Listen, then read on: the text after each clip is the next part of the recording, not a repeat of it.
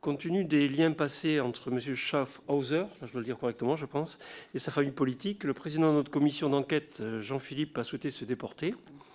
Il me revient donc l'honneur de présider cette, réunion. M. Schaffhauser, je vous remercie d'avoir répondu à notre convocation. Comme vous le savez, notre commission travaille depuis plusieurs mois déjà sur les ingérences de puissances étrangères dans la vie politique, économique et auprès des relais d'opinion de notre pays. Nous souhaiterons donc à ce titre recueillir votre témoignage concernant les relations que vous entretenez de longue date avec la Russie. Mais bien sûr, non pas pour vous le reprocher, mais pour établir si vous avez pu être le vecteur d'opérations d'ingérence de la part de ce pays dans la vie politique nationale française. Nous interrogerons en particulier sur votre rôle dans l'obtention par le Front National à l'époque de deux prêts auprès de banques russes en 2014 et 2017 et la rémunération que vous auriez perçue en échange.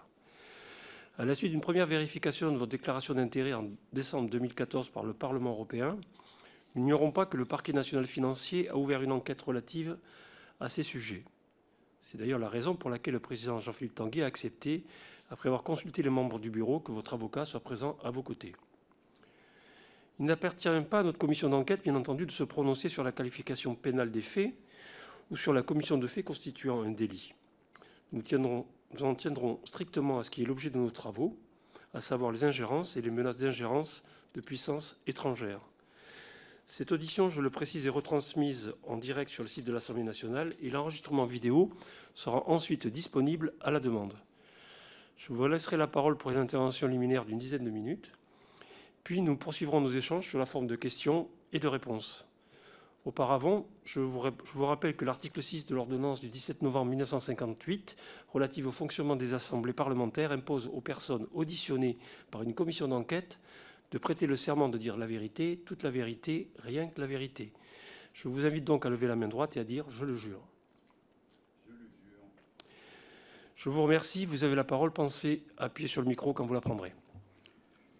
Oui, je, chers collègues, je vais présenter euh, le contexte de mes engagements au niveau international pour que vous puissiez bien comprendre euh, justement pourquoi il n'y a pas eu d'ingérence extérieure. Donc je vais vous relater pendant 10-15 minutes euh, le contexte pour faciliter vos questions par la suite. En 1988, je suis chef de la coopération internationale euh, de la région Alsace. Le président de cette région, Marcel Rudloff, est également fondateur de l'Assemblée des régions d'Europe, et donc je m'occupe également de la coopération des régions d'Europe, plus particulièrement pour euh, l'Est-Ouest et le Nord-Sud. Je suis d'origine professeur de philosophie, j'ai un ami qui est Rocco Boutiglione, qui s'avère être aussi le conseiller du Saint-Pierre pour euh, Jean-Paul II pour les pays de l'Est, et il me propose sous couvert de l'Assemblée des régions d'Europe, de me rendre dans les pays de l'Est pour faire le lien avec l'opposition dans ces pays. C'est ce que je fais. Donc le 8 septembre 89, un an après, je réunis l'ensemble de ces opposants à Strasbourg. Et à ce moment-là, la, la, région Alsace me donne un million de francs, enfin donne au Forum démocratique qui vient d'être constitué européen avec ses leaders des pays de l'Est, et la ville de Strasbourg et le département 500 000. Le président hongrois vient pour la première fois pour soutenir Arpad cette initiative en France, et se crée également l'agence de coopération décentralisée internationale, dont je suis le délégué général, pour gérer la coopération des régions d'Europe. Je crée également l'Académie européenne avec les directeurs des anciennes fondations. Le directeur de la fondation Adenauer, le directeur de la fondation Gasperi, et puis le directeur, une directrice en l'occurrence, de la fondation Schumann. Je, le fais en les violant d'une certaine manière parce que d'emblée, ma perspective, j'y reviendrai, sera également l'élargissement à la Russie. Et puis, avec une approche qui n'est pas atlantiste. Et pour cela, je m'appuie sur un, ami que je connais depuis longtemps. J'étais aussi au cabinet de Chaban entre 86 et 88, euh, c'est Yvon Bourges. Nous relançons euh, Pan-Europe France avec cette idée d'une Europe d'Atlantique à l'Oural. Dès cette époque, dans Pan-Europe France, nous repensons le pouvoir européen avec la suppression de la Commission, et puis un secrétariat du Conseil implanté à Strasbourg, et puis un Parlement qui reste aussi l'émanation des États, pas d'un peuple européen. Depuis cette période, tout en étant fonctionnaire territorial, depuis 82, je suis également consultant, car euh, la loi en Alsace le permet, le permettait à l'époque. Et donc, euh, à ce titre-là, je mène différentes activités, euh, d'abord comme attaché parlementaire, en plus de ma fonction, de, Pierre Chillet et Marcel Rudloff, des sénateurs, et ensuite parce que je serai également le représentant d'Elie Levin.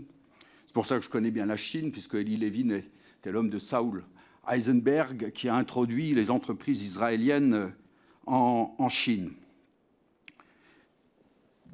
Pourquoi vous raconter euh, euh, ce message?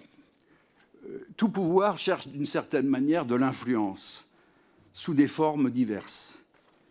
À la région Alsace ou à l'Assemblée des régions d'Europe, au département, à la ville de Strasbourg, nous cherchons cette influence pour Strasbourg, d'une manière positive. Et d'une certaine manière, nous intervenons dans la politique étrangère de ces pays, d'abord avant, en soutenant euh, les liens contre le communisme, l'anticommunisme, et, et, et pour une certaine conception des droits de l'homme et de la démocratie. Tout État travaille d'une certaine manière pour ses intérêts propres. Ainsi trouvions-nous à l'époque tout à fait normal d'intervenir dans la politique intérieure d'autres États, pour une juste cause. Eussions-nous apprécié la réciproque? Sans doute que non, mais ça c'est toujours la politique des deux poids, deux mesures. Par ailleurs, quand je vais euh, en Chine avec Elie Levin dans les années 90, nous utilisons notre influence auprès des politiques chinois pour ouvrir la Chine aux entreprises israéliennes. Et quand j'implante Logan en Hongrie, je me sers d'une information à la tablée euh, à côté, où j'apprends que les, représentants, les directeurs de l'entreprise nationale euh, hongroise veulent quitter cette entreprise pour en faire profiter une, Logan français, l'entreprise nationale. Donc, ce, ce mélange d'influences existe toujours. Quand vous travaillez pour le camp du bien, c'est-à-dire l'Occident libéral, sous influence américaine, qui prétend être la communauté internationale, définissant le bien et le mal, vous êtes un grand patriote. Mais si vous voulez vous extraire de ce camp poursuivre par exemple une politique indépendante de ses intérêts, car les intérêts américains ne sont pas toujours nos intérêts, ceux de la France et du peuple de France. Et que vous associez la France, vous coopérez, vous créez un, une alliance avec des puissances comme puissance d'équilibre avec la Russie et la Chine, par exemple, comme De Gaulle l'a fait, alors vous êtes considéré euh, comme dangereux et on ne vous apprécie plus. On pense, c'est une histoire, euh, c'est Branca qui a fait un bon livre, à vous éliminer physiquement, bien que vous soyez chef d'État de la France, avec 80% des Français qui vous soutiennent. On fait tout pour vous affaiblir. On soutient la rébellion en Algérie avec des coups de dollars. On soutient la rébellion dans nos colonies à coups de dollars. On infilme l'extrême droite et l'extrême gauche à coups de dollars, le centre, les partis de droite des syndicats, on achète la presse et on achète des journalistes à coups de dollars. C'est histoires, des relations historiques, si on en croit nos historiens, de la France avec les Amériques, avec les États-Unis. Et ils ont cherché dès le début à nous ôter notre indépendance, avec le billet drapeau, rappelez-vous, billets français fabriqués aux États-Unis. Ils ont voulu Monsieur remplacer Giraud. Monsieur Schaffhauser, je suis désolé, mais je voudrais, vous, je voudrais vous ramener sur le sujet, s'il vous plaît. Je pense qu'on dérive un petit peu. Et peut-on revenir au sujet qui nous préoccupe, s'il vous plaît? Je, je, vais y venir. Vous... Rapidement, s'il vous plaît.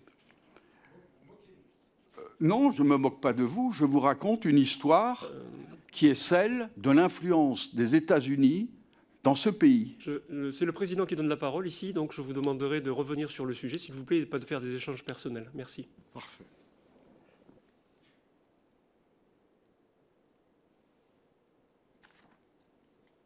Je vais venir dans les années 90 et la Russie qui vous intéresse. Merci. Dans les années 90, je vois comment, ayant rassemblé l'opposition dans ces pays de l'Est, étant plus particulièrement euh, quelqu'un qui est observateur à ce moment-là de ce qui se passe dans ces pays, je vois comment les États-Unis construisent une certaine influence. Et euh, non seulement comment ils construisent cette influence, mais comment ils ont mis particulièrement en Pologne un système qui leur permettait de faire que la défense de la Pologne se fasse par des conseillers américains, passons là-dessus, mais surtout qu'il n'y ait pas d'appel d'offres pour ce qui concerne le choix des avions. Il s'avère que le président du parti de cette époque était euh, également un ami et qu'il avait la majorité au Parlement, et j'arrive à faire qu'il euh, y ait un appel d'offres. Autrement dit, que le président la diète demande au ministre de la Défense, sous couvert d'enquête, comment se fait-il qu'il y ait eu un leasing pour euh, les F-16, alors même qu'il n'y a pas eu d'appel d'offres, ce qui bloque le leasing. Et euh, suite à ça, je suis amené à travailler pour Thales, Stegma et Dassault pour euh, suivre l'offre donc de Dassault contre les F-16. Je tiens à vous signaler ça parce que euh, dès cette époque, euh, je me suis rendu compte que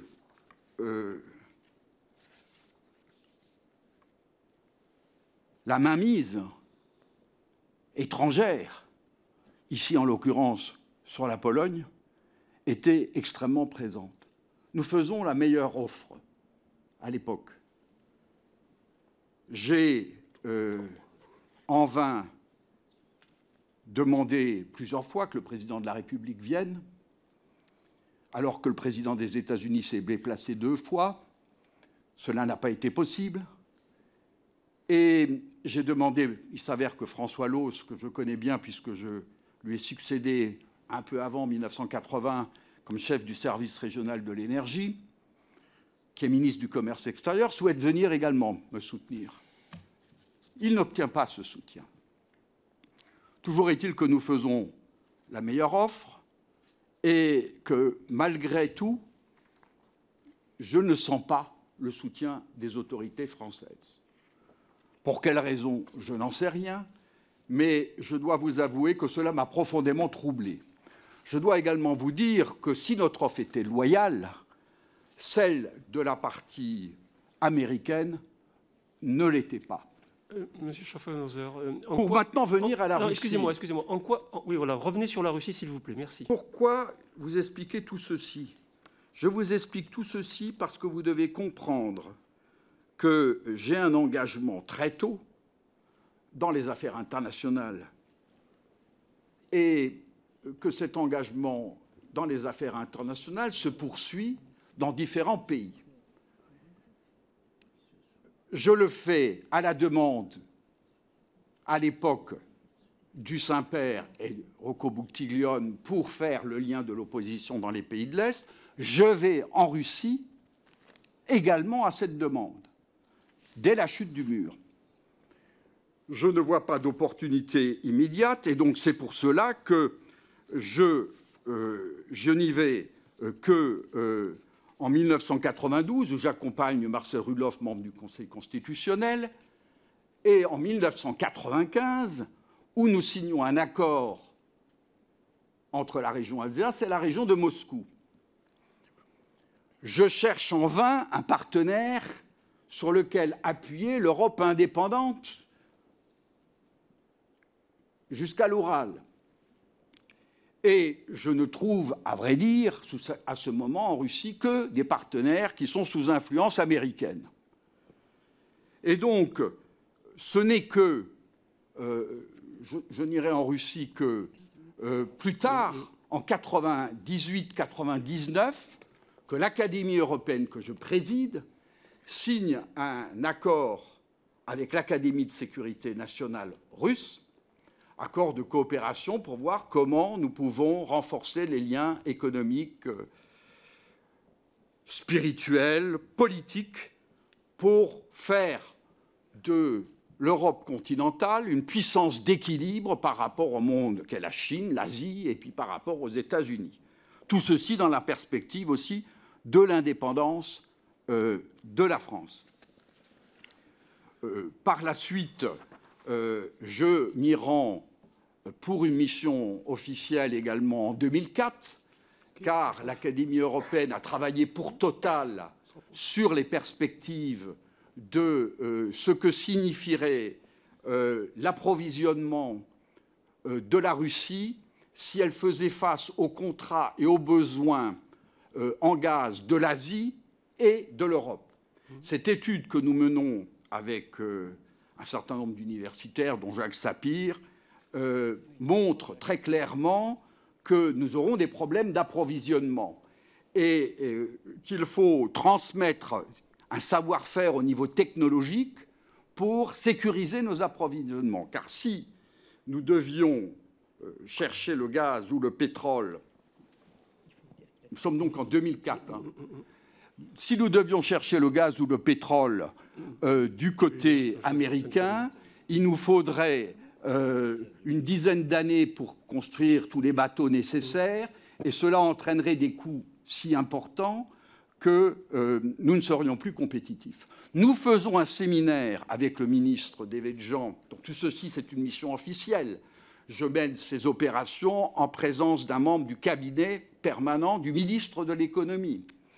Euh, nous faisons donc un forum présidé à la fois par le ministre Jean, qui seront à l'occasion à Moscou, et sur la coopération entre la France et la Russie en matière d'efficacité énergétique. Je, suis désolé de vous couper, mais nous, débordons déjà largement du temps qui vous était imparti, puisqu'on est déjà à 17 minutes. Et ce que nous voudrions, c'est que nous arrivions directement euh, au sujet pour lequel nous avons convié, qu'il s'agit du, du, du prêt russe.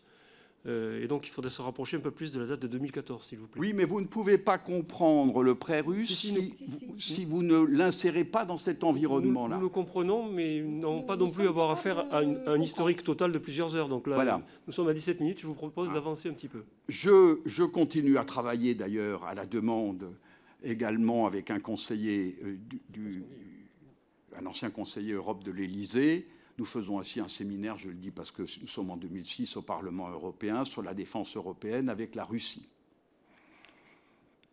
Donc tout ceci doit être rappelé. Le pré russe. Bon, le pré russe, puisque vous êtes euh, et vous m'empêchez, Président, de pouvoir relater ce qui pour moi excusez-moi, très utile. Excusez-moi, excusez-moi, excusez-moi. D'abord, euh, je vous demanderai de respecter la présidence. Ensuite, nous avons des règles de fonctionnement. Nous avons donné une dizaine de minutes. Nous sommes bientôt à 20 minutes, enfin à 17. On m'avait dit dans l'écrit 15 minutes. cela faisait. Si, si je suis désolé, j'ai la convocation. De toute, façon, de toute façon, nous avons débordé. Nous ne pouvons pas continuer sur 2004 et, passer encore 10 minutes avant d'arriver à 2014. Donc, je vous demande de revenir sur le sujet. Le sujet étant le prêt russe à partir de 2014 s'il vous plaît. Pourquoi y a-t-il le prêt russe?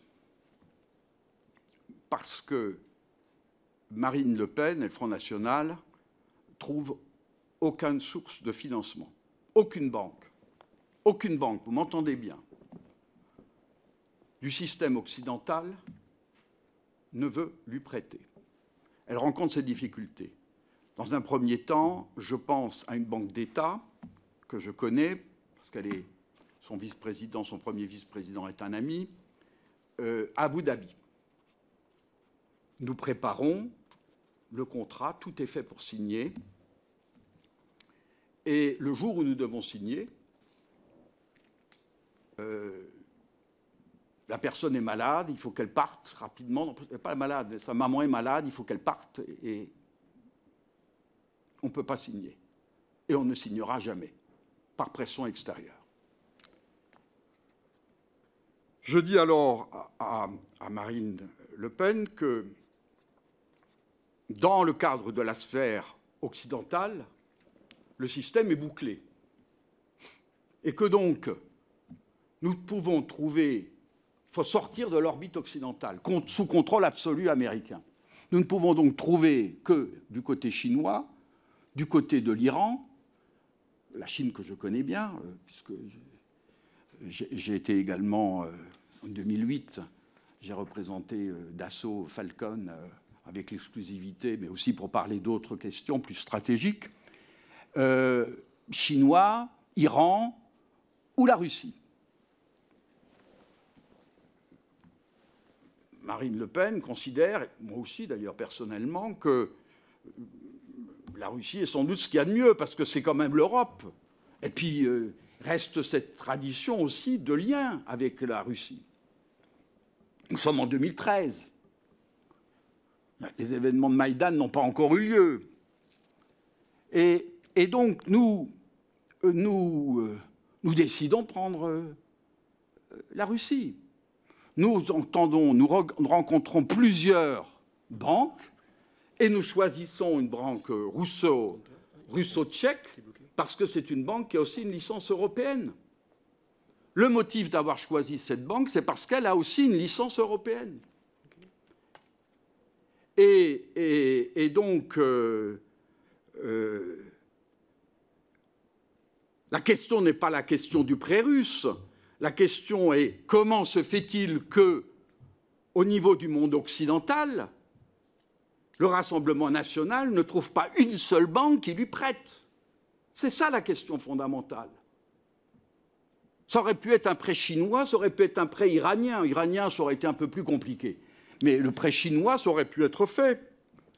Euh, euh, ou un prêt émiratis, je, je pensais aux Émirats, mais c'est impossible. Bon, et non seulement, après, les choses se poursuivent. Non seulement après avoir fragilisé le Rassemblement national, on essaye de fragiliser la présidente elle-même, Marine Le Pen. Car, lors des présidentielles de 2017, Marine Le Pen s'est portée caution personnelle. Et entre la période Delta, qui prend 6, 9 mois, 1 an, euh, où vous devez payer et remboursé, aucune banque, vous m'entendez bien, aucune banque ne lui prête. Et là encore, je passe par les Philippines, puisque j'ai été collaborateur, je connais bien, j'étais collaborateur d'Elie Lévin pour l'Europe dans les années 90, et je connaissais bien Cory Aquino, et je connaissais bien, c'est un pays que je connais bien. Et nous obtenons un prêt d'une banque philippine. Là aussi, nous nous déplaçons cette fois-ci, euh, on ne nous prévient même pas de la sincérité de vouloir signer et de faire ce prêt. Et l'administrateur extérieur, au dernier moment, sous pression extérieure, puisque c'est un administrateur extérieur, euh, refuse et met son veto. Et donc, nous n'avons pas pu avoir ce prêt aux Philippines. Il ne restait donc plus que la possibilité soit euh, de retourner dans l'orbite de ce qui n'est pas occidental, euh, soit euh, de, trouver une personne physique qui arrive à, à, faire un prêt au parti qui lui-même, bon, et après avoir cherché dans l'urgence puisqu'il y avait la nécessité de payer les entreprises. Nous sommes après les élections présidentielles, hein, c'est bien clair. Eh bien, euh, nous avons trouvé une personne euh, qui pouvait faire un prêt, euh, avec des amis, des amis émiratis d'ailleurs. Hein. Et, donc c'est dans ce contexte-là que j'interviens à nouveau, ce qui n'est pas connu, moins connu. Parce qu'il faut aussi savoir que l'histoire du prêt russe sort euh, comme quoi j'aurais touché une rémunération des, des Russes. Or, le contexte n'est pas du tout celui-ci pour ce prêt. Le contexte était que euh, le Rassemblement national, Marine me disait Oh, tu peux faire ça gratuitement, et que euh, moi-même, je ne pouvais pas le faire gratuitement parce que ça entraîne des frais importants des frais d'avocat, des frais de monture de dossier, etc. Et en accord avec elle, avec une, la signature de la présidente et un accord du Rassemblement national, il a été d'accord que je facturais la banque pour le travail qui a été fait. Et on s'est entendu pour un montant qui était de 140 000. Et qui correspond, euh, je ne vous cache pas que si j'avais facturé en tant qu'indépendant ce que j'étais, le montant aurait été nettement supérieur. Puisque plus de la moitié de cette somme, euh, c'est des frais de voyage et des frais d'avocat et que c'est une affaire qui a duré un an et qui a demandé des réseaux internationaux. Donc, euh, c'est dans ce contexte-là que l'affaire sort aux États-Unis, d'abord, où un député aurait eu de l'argent, d'ailleurs pas, pas tant pour cette raison-là. Le contexte vous me poserez peut-être la question pourquoi ça sort aux États-Unis? Euh, Eh bien, et, que j'ai un, journal d'investigation connu qui dit, euh, qui m'appelle pour me dire euh, nous avons la copie du SWIFT montrant que vous avez touché 140 000 euros. En l'occurrence, il s'agira d'une société au Luxembourg et pas d'une société russe, même si cette société est contrôlée en partie, mais c'était une société au Luxembourg euh, par des Russes. Et donc, euh, euh, sur, cette affaire, qui d'ailleurs est... vous me posez une question qui concerne directement l'enquête, vous n'auriez pas à me la poser. sur cette affaire, je n'ai rien à me reprocher. ma connaissance de la Russie est, est reconnue. Euh, je ne suis pas allé chercher une solution russe euh, en premier, derrière une intention qui aurait soi-disant, parce que les Russes vont faire ça, qui vont avoir une influence sur. Tout ceci est de et du, montage. Et, mon travail de consultant existe depuis 1900, 1982. Je ne tombe pas du ciel. Euh, je suis président de l'Académie européenne qui a traité les plus grands contrats pour Total, Dassault, Snecma, euh, enfin, pour toutes les grandes sociétés françaises. Euh, il n'y a jamais eu d'affaires me concernant. Tout s'est toujours fait proprement. et, donc, nous en sommes là. La seule chose, c'est qu'on parle du prêt russe, mais on ne parle pas des raisons qui font qu'aucune banque en Occident ne veuille prêter, à cette époque-là du moins, au Rassemblement national, parce que la question, elle est là. Elle n'est pas, du prêt russe qu'on a, été obligé de trouver une solution hors, de l'Occident. C'est ça la question fondamentale. et la question euh, d'avoir monté toute cette affaire par médias interposés, avec des dossiers donnés, tout fait, par cette euh, officine d'investigation, comme elle l'avait fait euh, avec le Rainbow Warrior, déjà à l'époque, la même officine pour RNU, pour déstabiliser la France. ceci, ce sont des histoires qu'on peut constater et connues. Donc, moi, moi, je constate simplement une chose, c'est qu'on est allé monter une affaire pour faire diversion sur le fond de l'affaire, qui est comment se fait-il qu'aucune banque occidentale ne prête à un parti? Et ça, c'est la, question de fond. Et comment se fait-il qu'après avoir fragilisé le Rassemblement national, on fragilise, on essaie de fragiliser également sa présidente? Ça, c'est la question de fond. Et la question de fond, si on voulait être démocrate, serait les frais que cela induit. Parce que cela induit des frais, évidemment, pour le Rassemblement national. Et qui font qu'aujourd'hui, euh, on a souvent parlé des dettes du Front national et du Rassemblement national. le Rassemblement national, pour trouver les moyens, a dû engager un certain nombre de frais qui seraient tout à fait normal que la République, si on voulait jouer en démocratie, l'équilibre, rembourse, rembourse ça. Donc ça, c'est la question, euh, c'est la question de fond. Voilà. Si vous avez d'autres questions personnelles à me poser, si je peux y répondre. Nous allons effectivement essayer de poser nos questions maintenant, puisque vous avez utilisé euh, largement le temps qui vous était imparti, voire même un peu au-delà. Donc je vous remercie. Euh, j'avais plusieurs questions avant de laisser la parole à Madame la, la rapporteure et, et les commissaires présents. Euh, d'après les paroles de Bernard Monod, économiste du RN, alors FN, chargé de lever les fonds auprès des banques, la réussite du premier prêt, comme vous venez de nous l'expliquer, accordé aux partis et soit en majorité dû aux relations que vous avez tissées en Russie. Euh, Monsieur Monod dit J'avais du mal à aboutir avec les Russes, alors j'ai demandé à Schaffhauser de participer. Il a actionné ses réseaux et a pu trouver un financement, comme vous venez de nous l'expliquer à cet égard, je me suis tourné vers des amis. Pouvez-vous nous en dire plus sur ces relations amicales et comment vous les avez tissées? Sans revenir sur le tout historique. Je vous ai expliqué ça maintenant. Qu'est-ce que voulez-vous que je vous dise de plus Les noms Je vais, je vais en 2004 traiter pour l'État français. Je suis un certain nombre d'affaires stratégiques euh, pour, euh, pour Dassault également et l'avion du mmh. futur. Mais ça, je n'ai pas non plus à vous en parler. Je suis quand même lié au secret. Bon, donc ces relations, je les ai. Oui. Qui sont ces amis, Monsieur Schaffhauser il y a un secret des affaires. Un secret des affaires depuis 2004 Mais quand vous, êtes consultant, vous avez un engagement de consultant. Euh, non, je suis désolé, vous devez conseiller votre client et pas, pas nous parler directement. maître, vous n'avez pas prêté serment. Donc je, repose ma question. Euh, moi, moi je ne peux pas vous répondre parce que là, vous me posez des questions que la police judiciaire m'a et auxquelles j'ai répondu. Je n'ai pas à vous répondre. Je suis très clair là-dessus.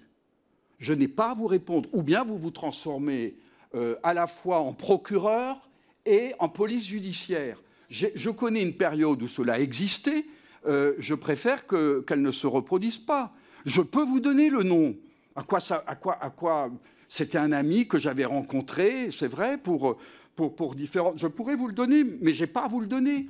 Parce que là, franchement dit, je pense qu'on sort de, l'état de droit. la, lettre du ministre, la lettre du ministre euh, de, la, justice à la présidente de l'Assemblée nationale est très claire. Elle souligne euh, cette lettre toutes les, toutes les euh, comment puis-je dire, les affaires qui sont en cours et, et, et, ça ne vous apprendra rien si je vous donne le nom d'une personnalité russe qui a été le président de l'Association des banques régionales et que je connais depuis longtemps. Oui, mais ça ne vous apprendra rien. Vous nous bon. quelques indications, je vous en remercie. Nous prenons acte que vous ne voulez pas le citer le nom. Euh, j'avais une autre question. Euh, quel était votre rôle dans l'attribution du second prêt par le RN à ce moment-là d'un montant de 8 millions d'euros accordé par M. Laurent Fouché en 2017 Je vous ai expliqué. Je, vous, vous, me, vous, me, disiez, Président, je suis désolé que je, je vous fais perdre du temps. J'ai exprès fait une présentation générale pour, vous faire, euh, pour que vous n'ayez plus à poser des questions. Très bien. Je vous en poser une autre que vous, sur laquelle vous n'êtes pas exprimé. Avez-vous joué un rôle dans l'attribution du prêt de 2 millions d'euros en 2014 auprès du micro-parti de Jean-Marie Le Pen, la Cotelec? Non. Non, non et non. Très bien. Ni de près ni de loin. Ok. Écoutez, je vais passer la parole pour l'instant à Madame la rapporteure et je reviendrai vers vous tout à l'heure. Veuillez couper votre micro, s'il vous plaît.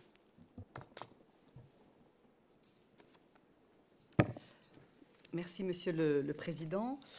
Euh, Monsieur Schaffhauser, je ne commenterai pas euh, la très longue euh, déclaration à laquelle vous vous êtes livré précédemment. Je souhaiterais juste que la mémoire du président Chabon-Delmas dans cet immeuble qui porte son nom soit laissée au repos.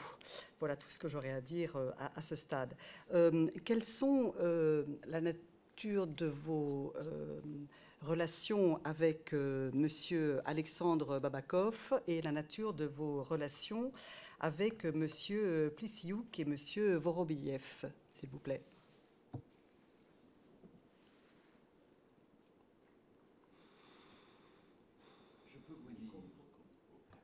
je peux vous dire, ben là encore, je, tiens à vous signaler que vous, prenez, vous prenez euh, euh, ce sont les questions que la police judiciaire m'a posées. Ce sont des questions, je, je, pense que vous, vous en rendez compte, que la police judiciaire m'a posées. Vous, vous, vous, On a le droit de les poser. Que voulez-vous que je vous réponde? Alors je peux vous répondre. La question n'est pas là. Mais je, si je vous réponds, si, si je vous réponds, ça veut dire que j'accepte euh, qu'il n'y ait plus la séparation des pouvoirs. donc, euh, je, peux vous dire que là, M. Plissu, qui était membre de l'Académie, c'est officiel. Hein, il était signataire de, l'Académie, il représentait une fondation russe, euh, et la relation euh, date, comme je l'ai dit, indirectement parce qu'il était président de l'association des, banques régionales. Et que les régions russes, et que tout ce qui concerne la Russie, je l'ai abordé aussi sous l'angle de la décentralisation à l'époque. Voilà. Hein mais, mais, je vous dis, ce sont des questions qui m'ont été posées euh, directement par... Oui, mais la, représentation nationale a le droit de vous poser ces questions, même si vous avez le droit de ne pas répondre. Voilà, Oui, voilà. Merci, Président, de venir un peu à mon secours. voilà. Je n'y pensais pas. Constant, euh, Madame Le Grip, le rapporteur.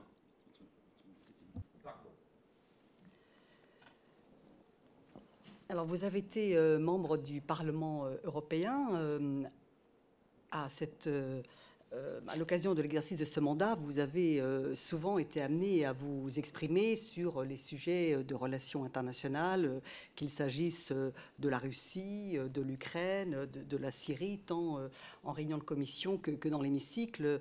Vos, prises de, position ont, été assez régulièrement marquées, je ne pense pas que ce soit vous faire injure que de le dire, par un soutien euh, euh, à la politique euh, de l'État russe et aux différentes actions et positions de, l'État russe et particulièrement du président Poutine. Hein. Vous, avez, là c'est facilement à, retrouver sur le site du, Parlement européen, été très régulièrement et avec une opiniâtreté, une obstination qu'il faut souligner, le relais d'un certain narratif russe s'agissant, encore une fois, de l'Ukraine, par exemple, ou euh, de, vision euh, géopolitique, mais également, par exemple, s'agissant de la politique du président Bachar el-Assad, tout à fait clairement du côté de l'exécutif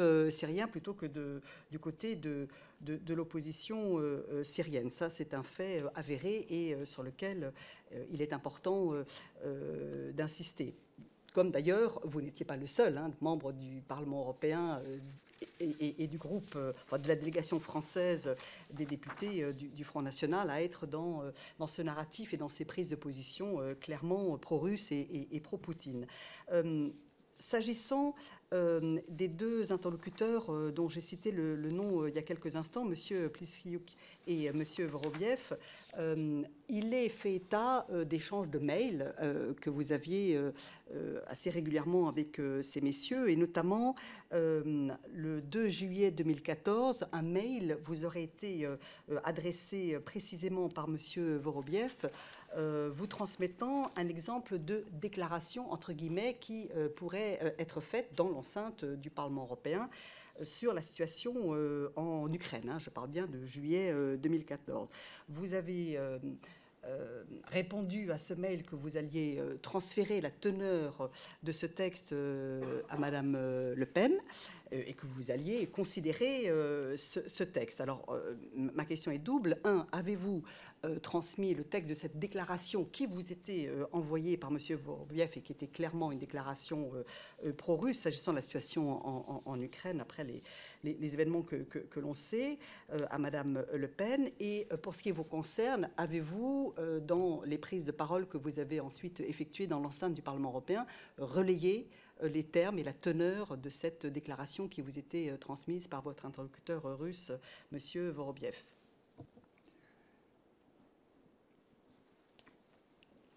Je reviens à mon introduction. Ma relation à la Russie ne date pas du fait que je sois parlementaire. J'y vais en 92, j'y vais en 95, j'y vais en 98, et après j'y vais euh, une centaine de fois, je n'ai pas calculé. J'y vais avec des missions euh, certaines officielles. Quelle politique je développe? Celle qui a été celle de la France. Puissance d'équilibre, qui depuis le général de Gaulle s'allie à la Russie et à la Chine, communiste à l'époque,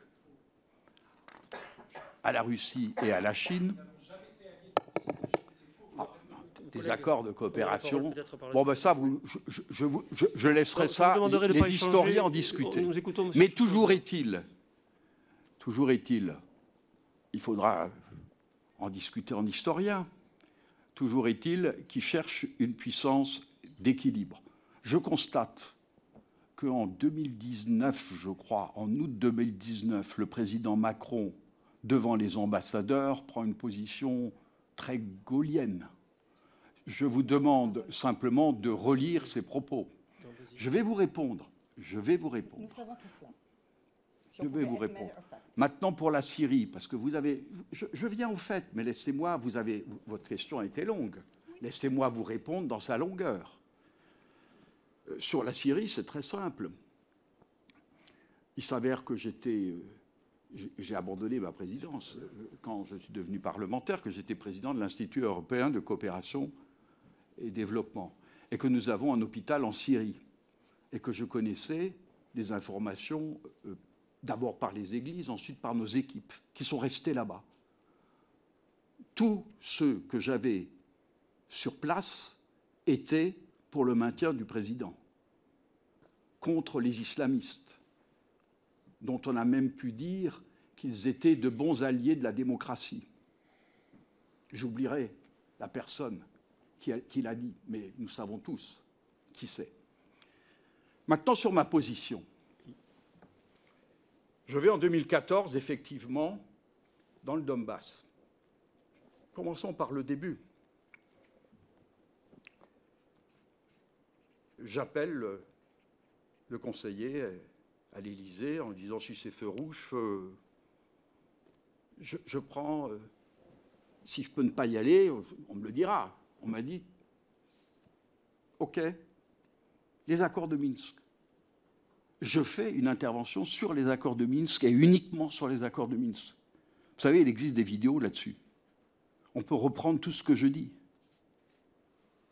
Je tiens à rajouter que du côté russe, parce que j'y retournerai après en 2016, on me dit tu ne parles surtout pas d'indépendance, ce qui n'était évidemment pas euh, mon point de vue, puisque les accords de Minsk parlent d'autonomie. Je sais ce que ça veut dire, n'est-ce pas, comme je suis un spécialiste aussi de la décentralisation, ce que veut dire aussi les autonomies locales. Et je m'en tiens strictement, mais strictement, à ces accords. Je montre, par contre, pourquoi il y a cette guerre? Sous faux drapeau, sous drapeau ukrainien. Comme je dis à mes amis américains, parce que je garde des contacts quand même avec mes amis américains, y compris des services. Vous êtes américain, vous êtes américain. Vous voyez que l'Allemagne est le premier importateur, exportateur de la Russie, et le premier importateur et exportateur de la Chine. Vous n'avez pas le choix. Vous êtes obligé de casser cet axe continental qui vous marginalise totalement. Vous êtes obligé. C'est une question un peu de vie ou de mort. Les conséquences des conséquences, nous verrons. Ce sera pour moi la fin de l'Empire. C'est la fin de l'Empire américain. Mais ça, c'est autre chose. Mais à court terme, quand vous voyez cet axe se constituer, vous n'avez pas le choix. Brzezinski le formalise dès 1997 et ne met pas en considération et ne met pas en considération la Chine. La Chine change tout. Et donc maintenant, pour revenir à votre question particulière, auquel j'ai déjà répondu, d'une part à l'enquête et d'autre part devant les médias, sur la 2. Je me suis amusé, c'est une mauvaise manière de répondre, mais je vous répondrai, à regarder toutes les personnes du Parlement qui étaient liées à la Fondation Soros. Le nombre, nous arrivions au chiffre quasiment de 200 fondations dont je montrais clairement, lors d'une étude présentée devant mes amis parlementaires, qu'elle avait donné tous les éléments de langage avant même l'ouverture des frontières de l'immigration qui vont être repris par des chefs d'État. De mon côté, j'ai parmi les membres de l'Académie européenne des représentants russes. Ils s'adressent à moi, ils me demandent Que dites-vous Vous êtes toujours poli? Euh, nous prendrons ça en considération. Évidemment qu'on prend ça en considération. On prend ça en considération par rapport à. J'ai défendu, regardez mes interventions. Dites-moi quand je, suis allé contre la position française. Je suis allé contre la position française, c'est vrai, euh, sur la Syrie. Mais parce que la position française est, faite de, de je, il faudrait une enquête parlementaire, là. Écoutez les évêques. Moi, j'étais en première ligne là-bas. Hein. Vous pouvez le savoir, l'hôpital euh, euh, d'Alep. Hein. Bon, donc moi, j'avais des informations. Mais sur le reste, dites-moi en quoi j'ai pris, euh, j'ai pris des positions contraires à, à celles de mon pays. Dites-moi. C'est ta question Je suis, je suis. Oui. Le micro, s'il vous plaît. Je, vais revenir euh, à votre rôle de- d'entremetteur ou d'intermédiaire ou de négociateur euh, euh, pour l'obtention des- prêts russes, en- entre guillemets, pour le Front National. hein. Donc le, premier en euh, de- 2014, donc contracté auprès de la First Czech Russian Bank, hein, qui est une petite banque effectivement créée en... Je voudrais terminer, s'il vous plaît, sans être interrompu. Non, non, mais voilà, euh, créée en 1996 en, Tchéquie, mais euh, très rapidement euh, transférée à Moscou parce que reprise par le, géant russe Strodia Transgans. hein, je parle très mal le russe, hein, évidemment, une grosse entreprise russe leader dans la construction de gazoducs.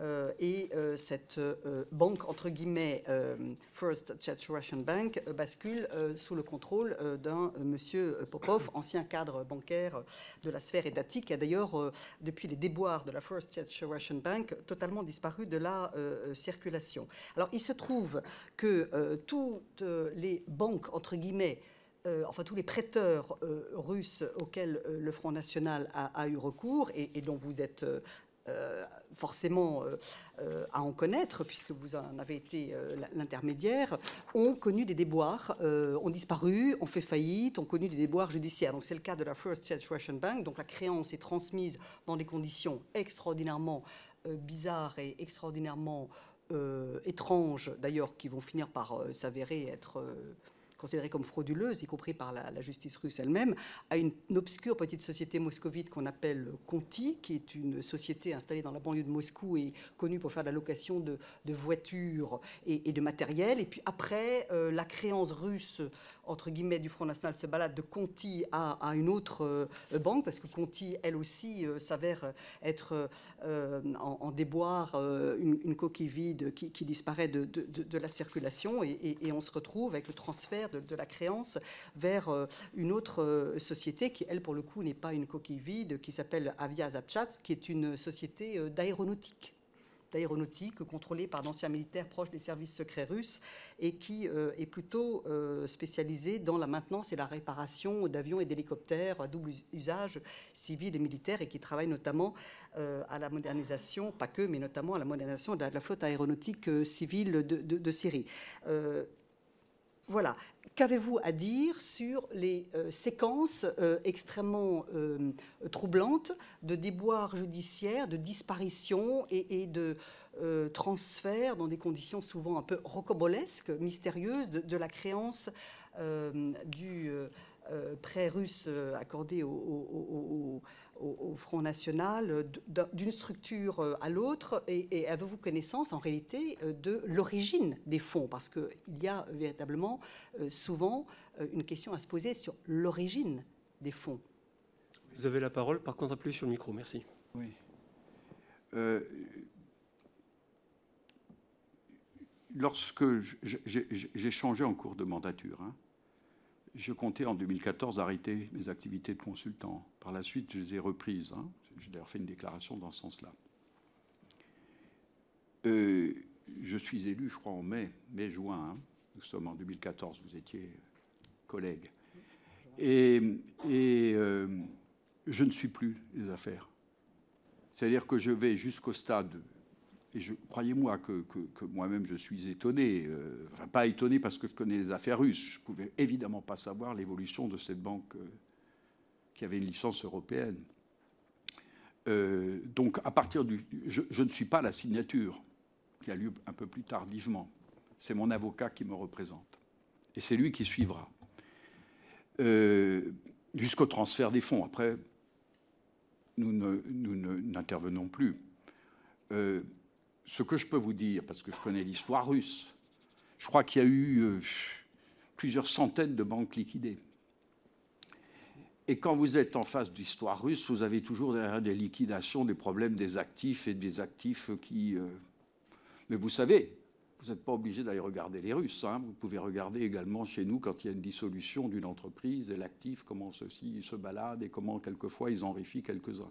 Je crois même qu'il y a des enquêtes en cours euh, sur 50 milliards qui auraient disparu, 15 milliards, 15 milliards, 15 milliards, qui auraient, dont on ne sait pas très bien, en France. Donc, euh, bon, moi, il y a eu un point de rupture. mais là, Marine avait raison. Marine Le Pen, excusez-moi, la présidente. Il y a eu un point de rupture. Moi, moi j'aurais souhaité, en 2014, ils pouvaient rembourser, j'aurais souhaité qu'on provisionne le prêt de telle manière qu'on soit sûr à pouvoir le rembourser dans les délais. Euh, de fait, le Rassemblement national, à l'époque, faisait 2 millions de déficits, il fallait qu'il fasse 2 millions d'excédents pour rembourser. Euh, cela impliquait qu'on divise par deux la masse salariale. Marine Le Pen m'avait d'abord suivi dans cette direction et j'ai commencé à regarder les comptes en détail et à voir où on pouvait, euh, qu'est-ce qu'il fallait faire. Et puis en fin de compte, elle ne l'a pas fait. Puis de fait, elle a eu raison, parce que moi, je raisonnais en termes comptables. Il y a un prêt, il faut le rembourser. Si on ne dégage pas 2 millions d'excédents, on n'arrivera pas à le rembourser. Et elle, elle raisonnait en termes politiques et dynamiques politiques.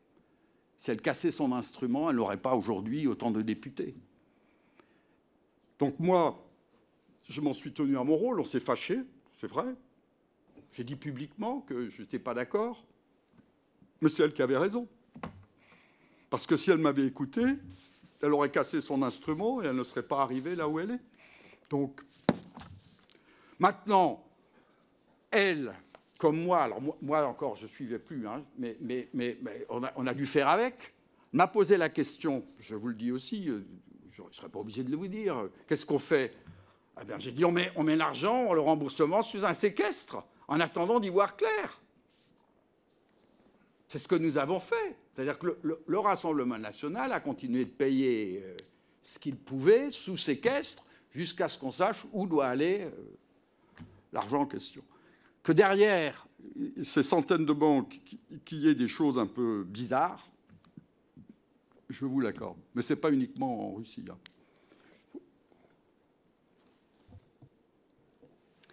Des choses bizarres, oui, je, vous donne acte de, cette euh, appréciation.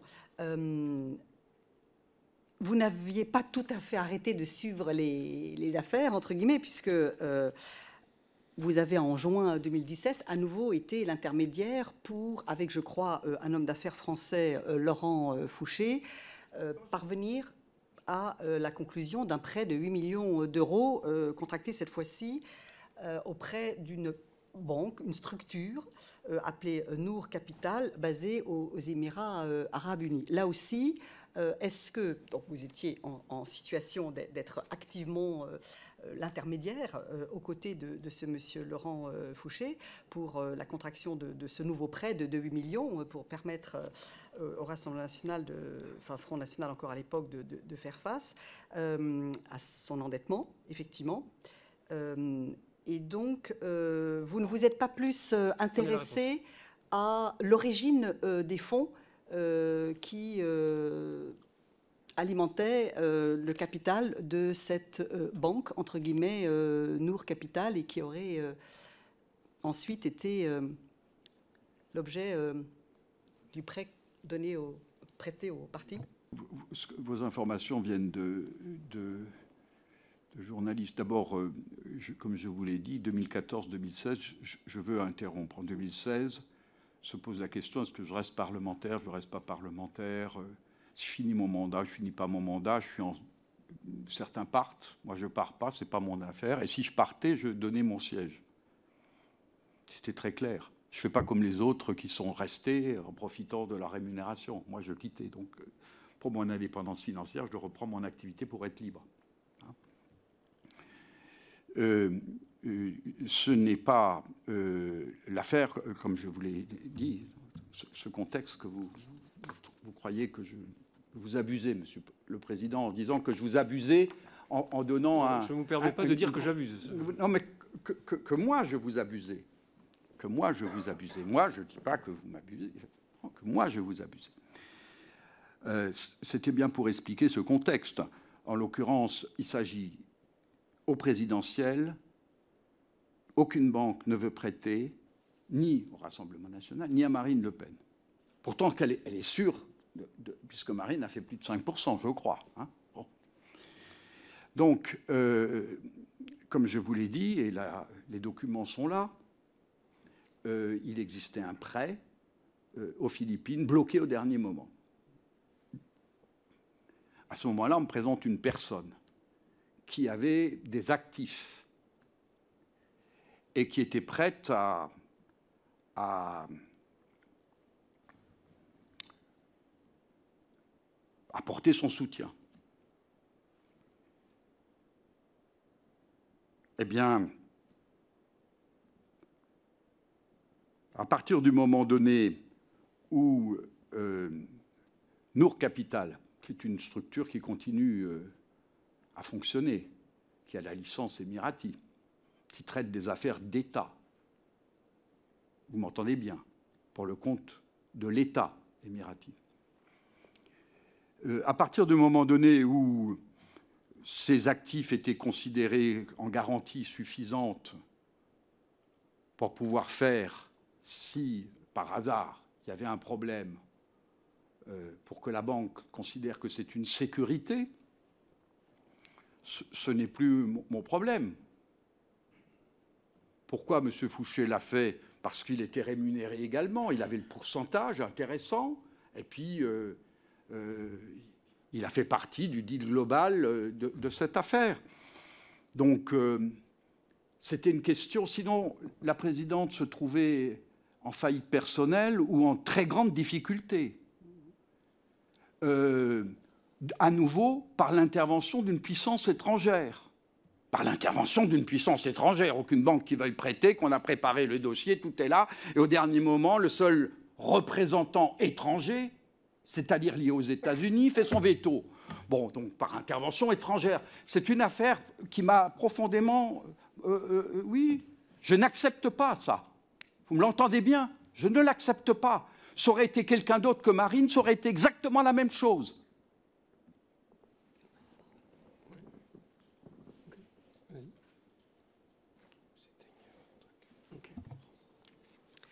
Euh, j'ai une dernière euh, question, et puis après on fera tourner euh, la parole. Je, vous entends, nous vous entendons dire à plusieurs reprises et avec beaucoup de, véhémence que pour vous, la question est celle qu'aucune banque occidentale ne voulait prêter à Madame Le Pen, je mets beaucoup de guillemets, au, Front National. Peut-être cela a-t-il à voir quand même aussi un peu avec certains certains débâcles de, gestion, dont par exemple l'affaire Jeanne Rival a récemment illustré quand même les dysfonctionnements. Hein. Bon, je n'irai pas plus loin parce que la justice française est saisie, la Cour d'appel de, Paris vient de, de, se prononcer de manière assez sévère d'ailleurs sur le micro-parti Jeanne de, Madame Le Pen, et j'irai pas plus loin. Mais enfin, il y a clairement des difficultés de, gestion, pour ne pas dire plus, qui, qui sont avérées, qui peuvent peut-être expliquer, alors que d'autres euh, formations politiques en France euh, trouvent euh, à être euh, euh, accompagnées euh, financièrement par des banques, euh, dont on peut peut-être trouver là euh, une explication. J'en viens juste à ma, question. Euh, Est-ce que vous n'avez pas euh, euh, pensé, imaginé que euh, l'intérêt d'un certain nombre euh, de euh, d'hommes d'affaires russes, de, prêteurs euh, russes pour euh, l'entreprise politique de Madame Le Pen et euh, le, Front National euh, était euh, aussi par euh, l'envie de pouvoir avoir une certaine prise sur euh, un positionnement, une ligne politique, avoir en quelque sorte un vecteur plus que d'influence, de véritable euh, allégeance euh, ou en tout cas euh, alliance euh, politique, euh, idéologique, tant au Parlement euh, européen que dans d'autres euh, sphères de la vie politique. Est-ce qu'il n'y a pas là euh, quelque chose qui euh, peut euh, venir euh, en réflexion chez vous? Vous avez la parole. Il y a plusieurs choses. D'abord, euh, vous confondez deux choses. Le parti, Marine, c'est pas la même chose. Là, ça aurait pu être un prêt personnel. Pour des raisons techniques, nous avons fait un prêt qui passait, euh, bon, euh, euh, prêt au parti qui lui-même prêtait à Marine. Donc, ça, n'intervient pas, ça. Maintenant, vous connaissez mon point de vue, je vous l'ai exprimé. J'étais pour qu'on fasse des excédents et qu'on div- divise par deux les dépenses. Mais en l'occurrence, pour le deuxième prêt, ça n'intervient pas. Et pour 2014, en 2014, le Rassemblement national a la capacité de rembourser. Je vois les comptes. Objectivement, il- d'ailleurs, Bernard Monod pense la même chose que moi. Donc, maintenant, inverser les choses. Je les inverserai. Il y a un prêt américain et il y a une officine russe qui dévoile le prêt américain pour montrer que c'est scandaleux, la pression des Américains sur la manière dont ils essayent de prendre la main, de mettre la main sur la droite et l'extrême droite. Bon. Tout le monde se retourne contre cette officine qui dénonce, et non pas sur le fait que une banque américaine prête. euh. Donc, vous voyez, tout, tout est inversé. En l'occurrence, ce qui est grave, c'est comment une puissance internationale qui tient la finance occidentale utilise de son pouvoir pour intervenir, pour intervenir dans les affaires intérieures et politiques d'un pays, considérant que tel et tel a droit et que tel et tel autre n'a pas le droit. Maintenant, ne confondez pas 2016, euh, 2017 plutôt avec euh, 2014. C'est deux choses complètement différentes. Il n'y a aucune puissance étrangère en 2017. Aucune. Aucune. Aucune. À moins que vous vouliez les, que les Émirats. euh, Mais non. Je sais que mes amis de Nour se sont font un peu taper sur les doigts euh, parce qu'ils ont fait ça, parce que certains sont des amis de longue date. Mais, mais euh, donc, et en 2014, je, vous ai déjà dit, on aurait pu faire, et là, je, je- on aurait pu faire- trouver d'autres solutions. Ça nous a paru, et franchement dit, euh, nous étions, mettons pas 2014, mettons 2013, nous n'étions pas dans le contexte déjà de, de Maïdan.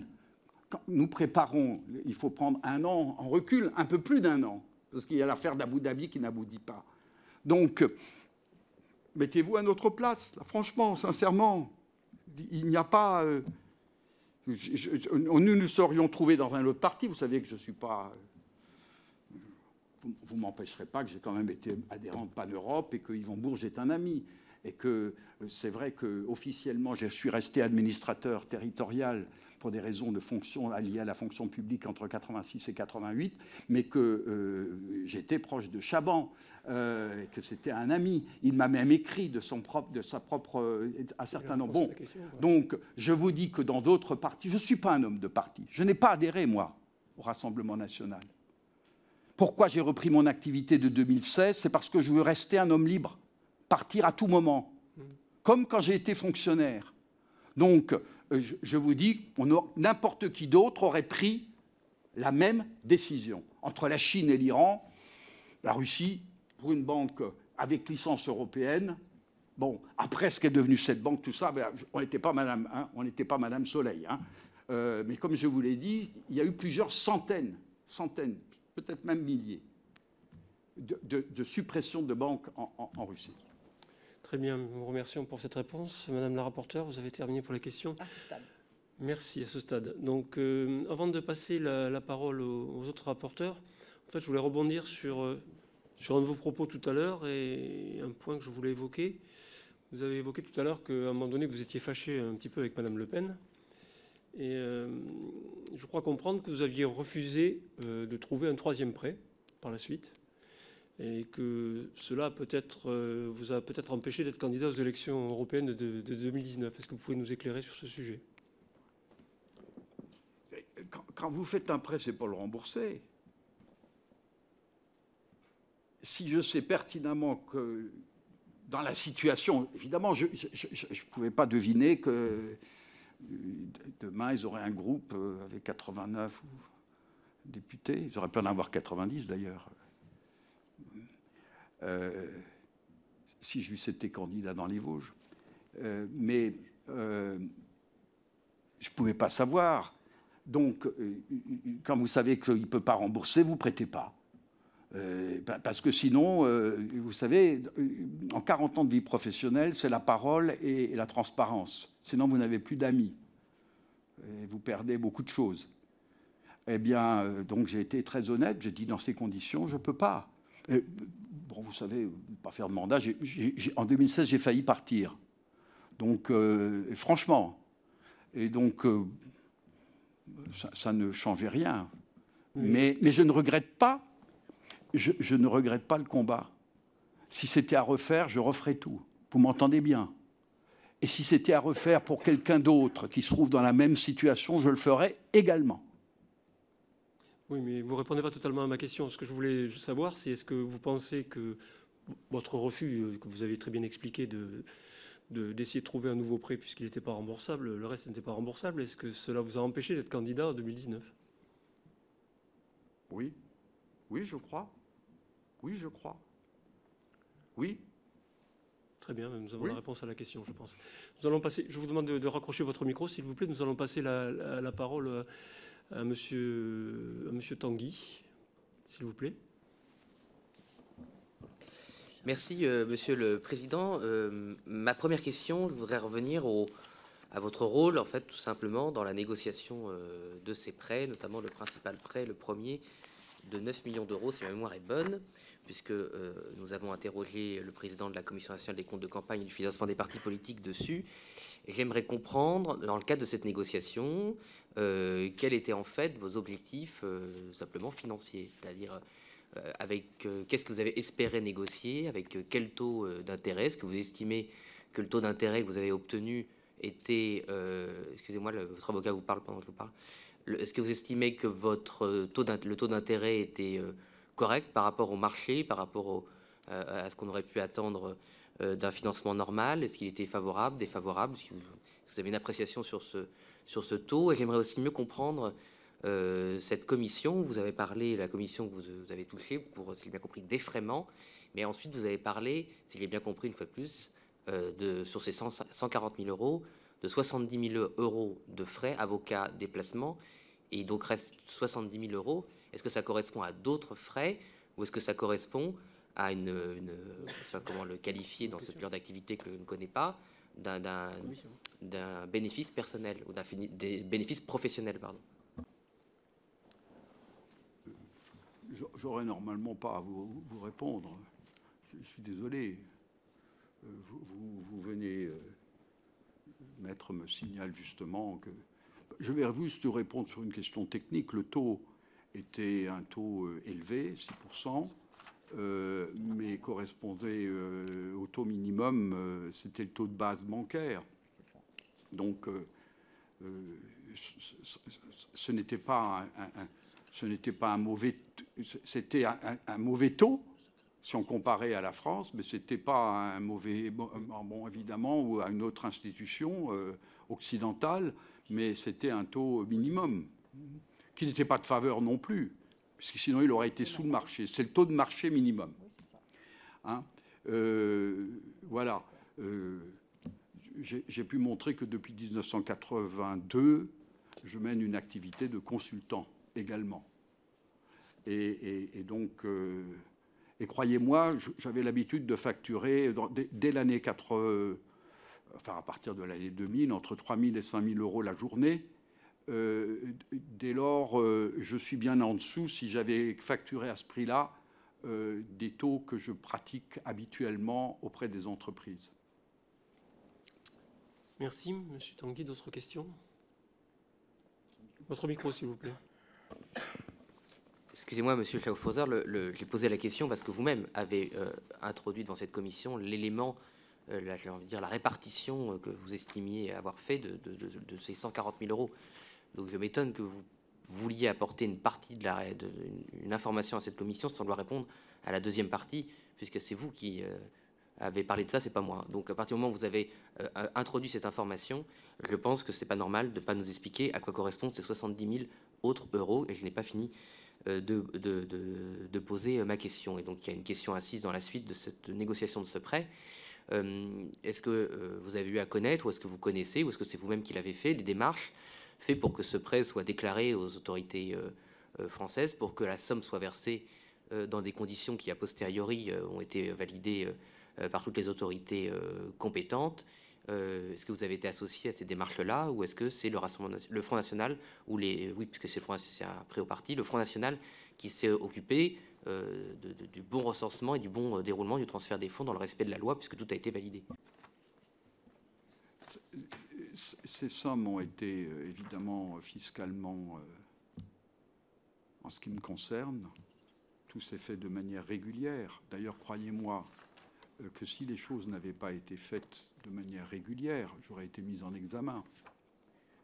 Euh, il y a eu quand même, c'est vrai, une enquête judiciaire euh, qui commence en 2016, qui n'est pas close, semble-t-il. Euh, mais je ne suis pas mis en examen à ce jour. Et si je le je peux vous dire que tout a été fait. J'ai derrière moi 40 ans de vie professionnelle en traitant des dossiers extrêmement sensibles. Si sous quelque forme que ce soit, je m'étais amusé à planquer de l'argent, à ne pas déclarer, etc., je devenais une cible. Autrement dit, on me faisait chanter.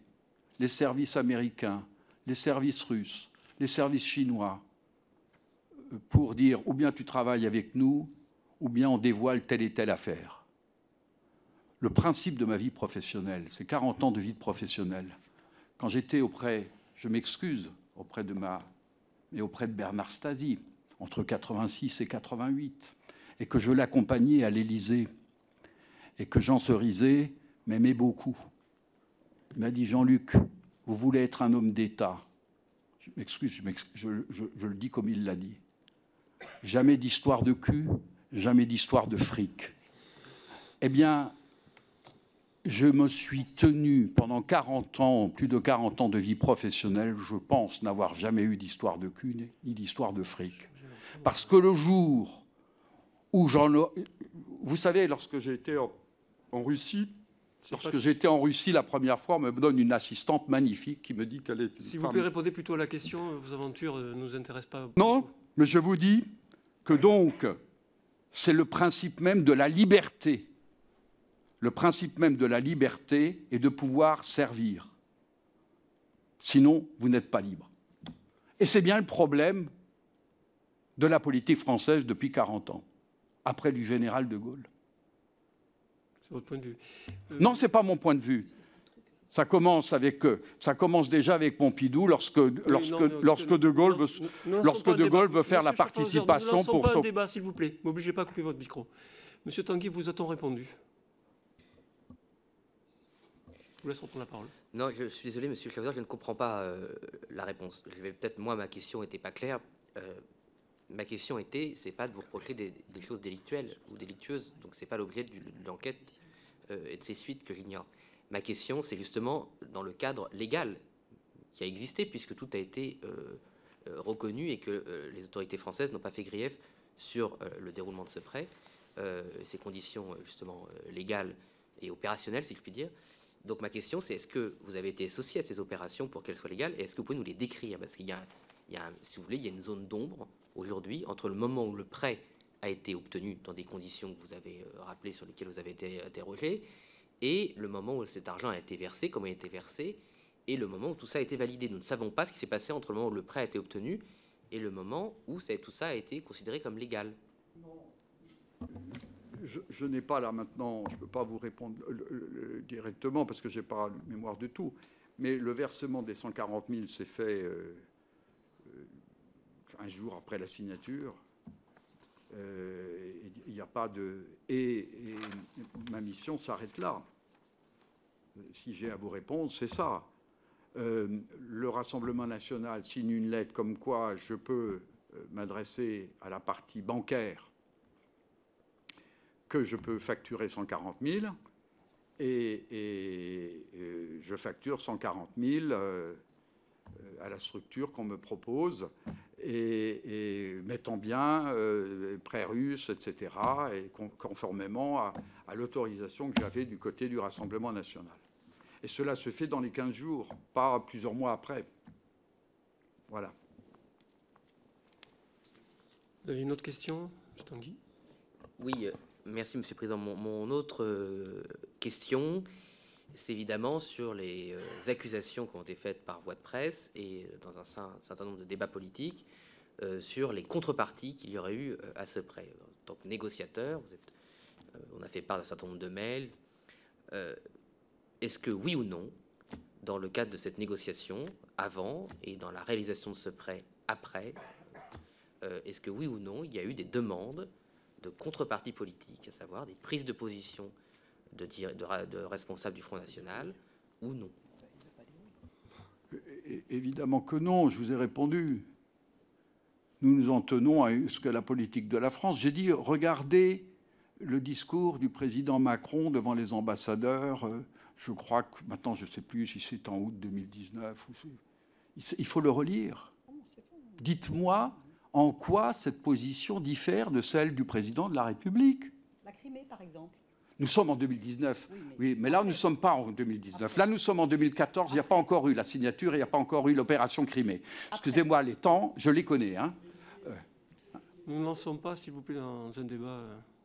Non, mais pardon, je ne peux pas laisser. Oui, oui. Je refuse d'aller en Crimée, vous constaterez quand même. On m'invite en Crimée, je refuse d'y aller. J'y vais pas, moi, personnellement. Vous.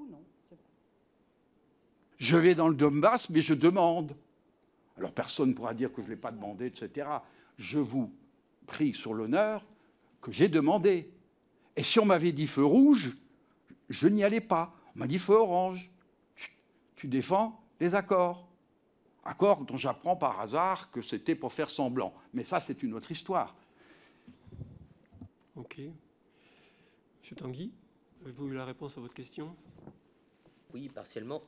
Dans, les reproches, enfin les, les accusations qui sont portées entre le lien entre l'obtention de ce prêt et les prises de position de responsables du Front National, euh, il y a les mails qui, ont été évoqués, mais j'estime que la réponse, parce qu'elle est souvent longue, Monsieur Schaufhauser, et je pense que qu'on gagnerait parfois à non non j'ai pas fini à, écourter pour que les réponses soient claires, puisque c'est très difficile pour tous les membres de cette commission, vu la sensibilité des sujets, d'avoir parfois des analyses précises de ce qui s'est passé dans un sens ou dans l'autre. Est-ce que oui ou non, euh, des euh, personnalités russes dont j'ai oublié le nom vous ont transmis un communiqué écrit par eux que vous avez reçu, qui a été transmis à d'autres personnalités du euh, Front National et qui ont été sortis comme tels, ou oui, vous avez reçu un communiqué et vous en avez fait ce que bon vous voulez, et aucune autre personnalité du Rassemblement national ne l'a repris comme tel. Non, non seulement, vous avez raison de, souligner ça, euh, non seulement euh, personne n'a transmis, euh, j'ai transmis ce- ceci à la présidente, la preuve, c'est pas moi qui ai traité, cette opération. L'assistant parlementaire, si c'est nécessaire, pourra. Moi, j'ai filé l'affaire, lui disant Tu regardes. bon. Je n'ai pas donné d'instruction. N'y a pas eu d'influence et, je, je, je ne. je- m'excuse là maintenant de parler d'un point de vue personnel.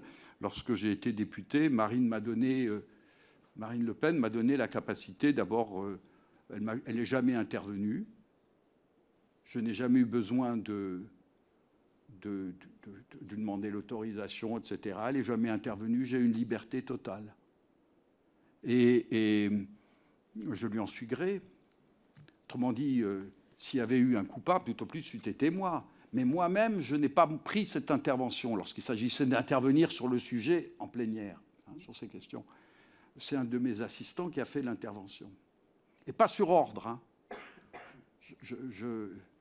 Donc, euh, euh, franchement dit, là, vous savez, euh, on, prend ce prétexte pour dire, voilà, j'étais sous influence. Bon, il y a beaucoup de personnes qui peuvent vous écrire pour vous demander ou solliciter quelque chose. Vous leur dites pas, euh, bon, euh, vous leur dites très bien, bon, et vous, vous, vous en faites qu'à votre tête, ce qui vous semble juste. C'est pour ça que je vous demande, dans mes- toutes mes interventions, dites-moi une fois une position qui était contraire à la position de la France. Très bien. Sauf sur la Syrie. Je suis d'accord avec vous, mais pas sur la Russie. Pas sur la Russie. Très bien. Euh, Merci de fermer votre micro. Je vais passer. Si M. Tanguy a terminé, euh, on enchaîne, hein, sinon. On va, passer la, on va passer la parole à, à Charles Sisenstuhl pour pas faire de. Vous avez la parole. Merci, Monsieur le Président. Euh, J'ai plusieurs petites questions à poser à Monsieur Schaffhauser. Avant, en introduction, je, je voudrais dire au micro ce que j'ai dit un peu à, à l'emporter avant, parce que ça me semble important. Moi, j'aimerais que euh, d'anciens élus d'extrême droite cessent de convoquer euh, le général de Gaulle à chaque fois pour se défendre de leur turpitude. Et vraiment, euh, d'utiliser la figure du général qui a combattu l'histoire, enfin votre famille politique, euh, prédécesseur de la famille la politique question. à laquelle, Allez à la pour que- laquelle, Allez, pour la laquelle, pour, pour laquelle vous, vous avez été investi, vous avez été euh, membre du groupe au Parlement européen pendant cinq ans. Euh, vraiment, euh, je pense que ça, ça fait très mal à, à beaucoup, à beaucoup de personnes. Collègue, allez à votre question. Euh. Jean, Jean- Jean- Monsieur Schaffhauser a pris la liberté de faire beaucoup de digressions. Je voulais juste en 30 secondes quand même rectifier ça. Euh, sur le sur l'emprunt russe, qui vous a missionné au Front National sur ce sujet? La, la présidente et son trésorier.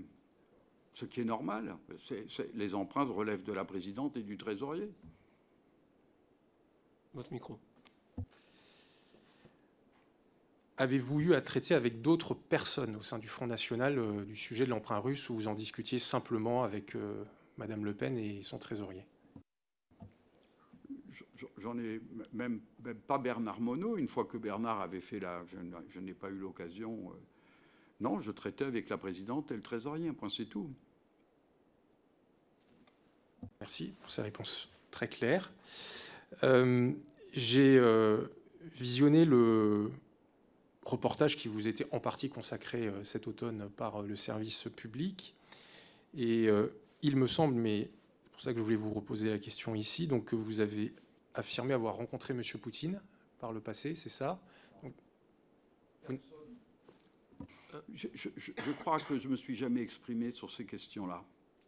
Et vous pouvez vérifier ça.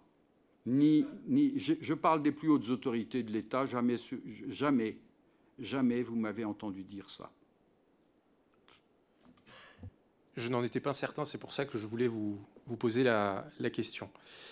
Euh, il me semble aussi que vous avez dit à l'occasion de ce reportage que la Russie ou le, régime de M. Poutine avait une certaine façon euh, intérêt à faire ce prêt euh, pour avoir des alliés euh, occidentaux. Est-ce que vous pouvez vous expliquer sur cette phrase qui c'est un jugement politique?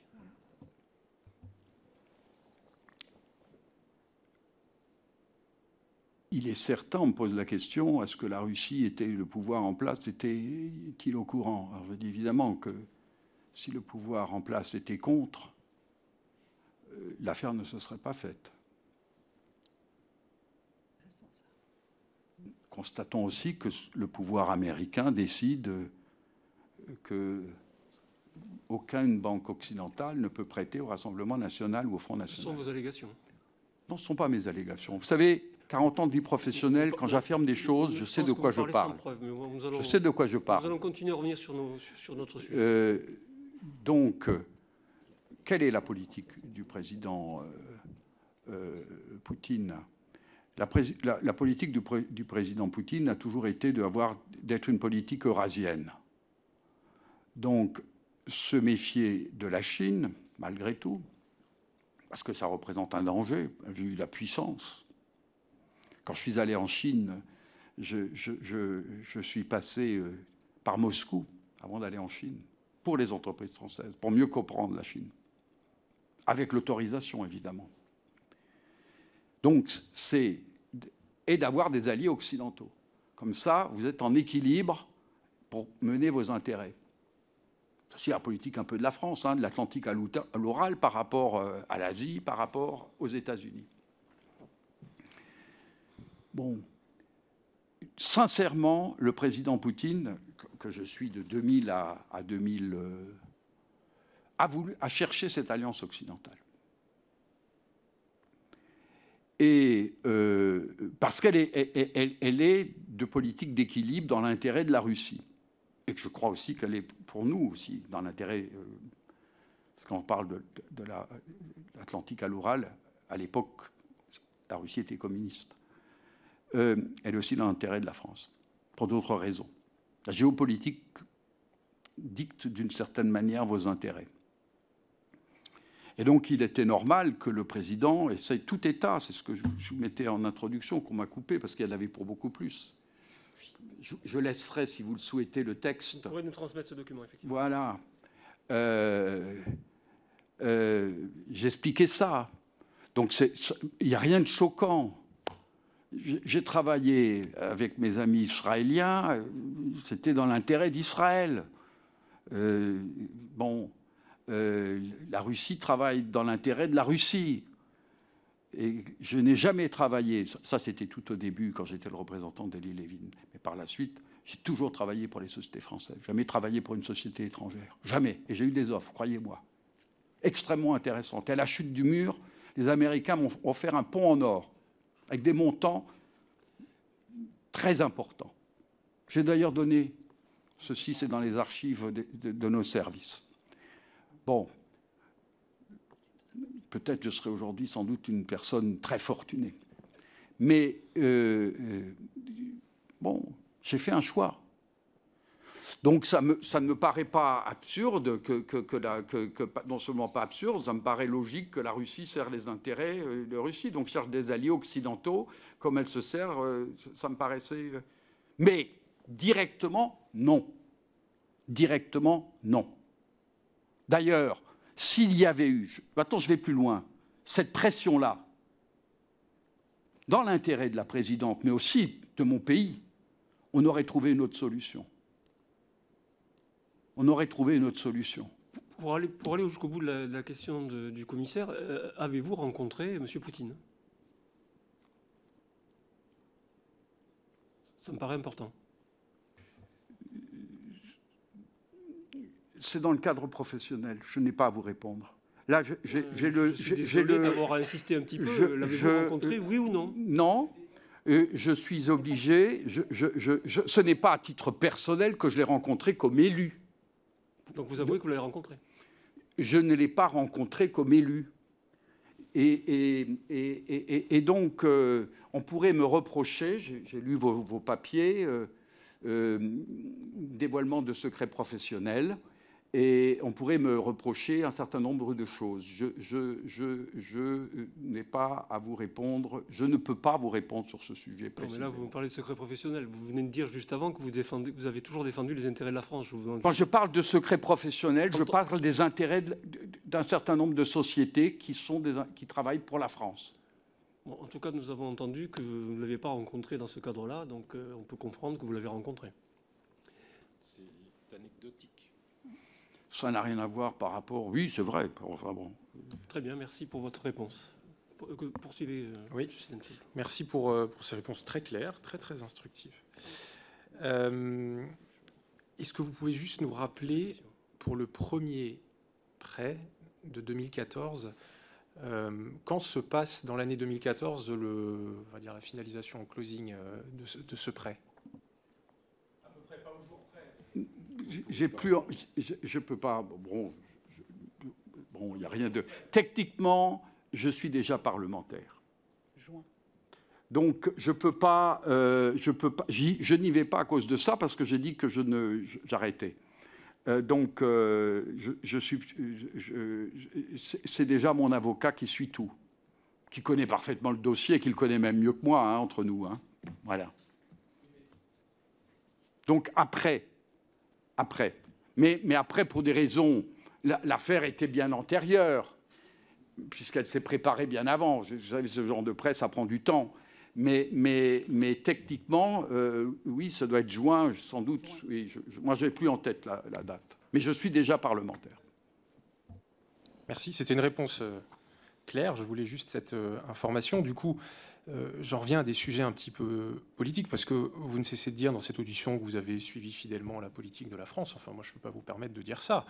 Euh, parce que je vous rappelle que l'annexion de la Crimée par la Fédération de Russie a lieu à partir de la fin du mois de février 2014, euh, que la France, par la voix de son président, ne soutient pas et condamne cette annexion, et qu'ensuite le référendum illégal sur euh, cette annexion de la Crimée par la Russie a lieu en mars euh, 2014. Donc j'aimerais que vous nous expliquiez en quoi euh, le parti politique pour lequel vous travaillez, vous collaborez sans en être formellement adhérent, mais vous l'aidiez euh, en tout cas, euh, le parti politique Front National prend position en mars 2014 pour, euh, pour cette annexion. Donc expliquez-moi en quoi tout ça était fidèle à la politique de la France et vous avez travaillé en défendant les intérêts de la politique de la France.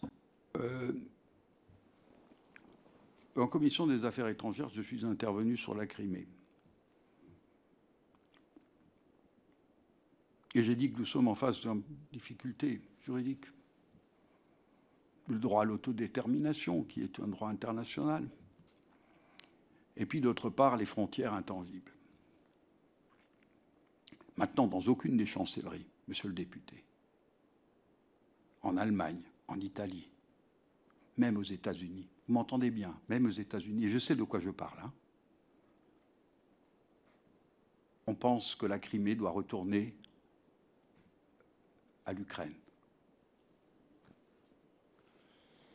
Donc on peut s'en tenir au formalisme du droit international sur des positions, comme je vous l'ai déjà dit, où je ne prends pas part. On peut reprendre mes propos.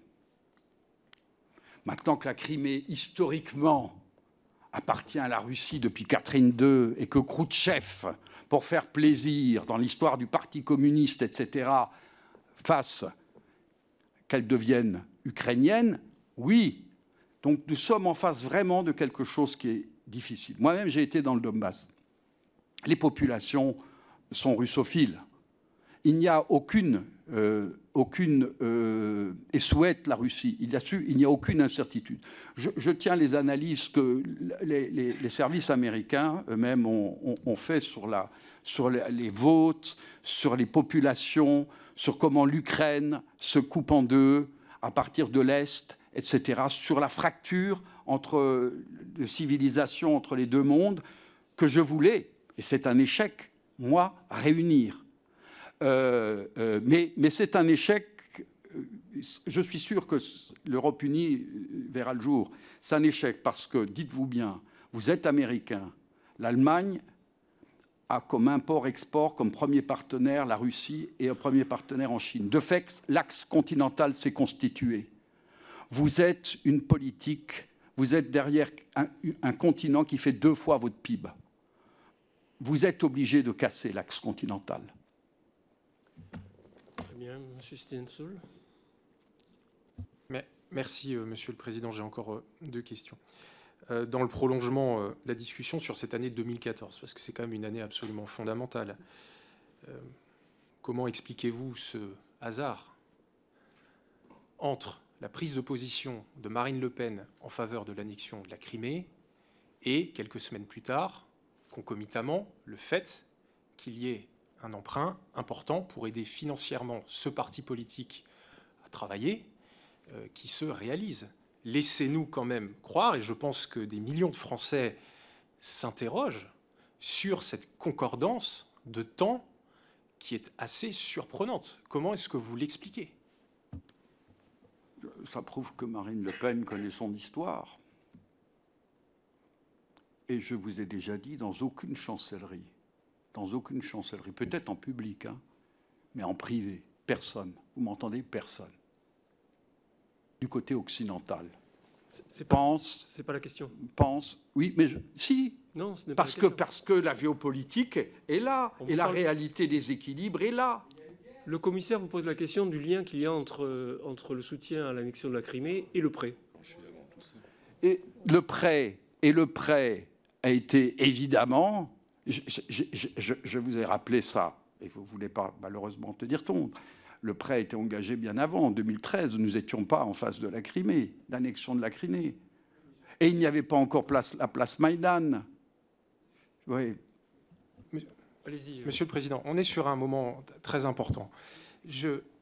La mémoire que, j'ai de cette période, c'est que les, euh, les manifestations, euh, euh, les remous qui se passent en Ukraine euh, commencent tout au long de l'année euh, 2013, euh, se poursuivent au début de l'année euh, 2014.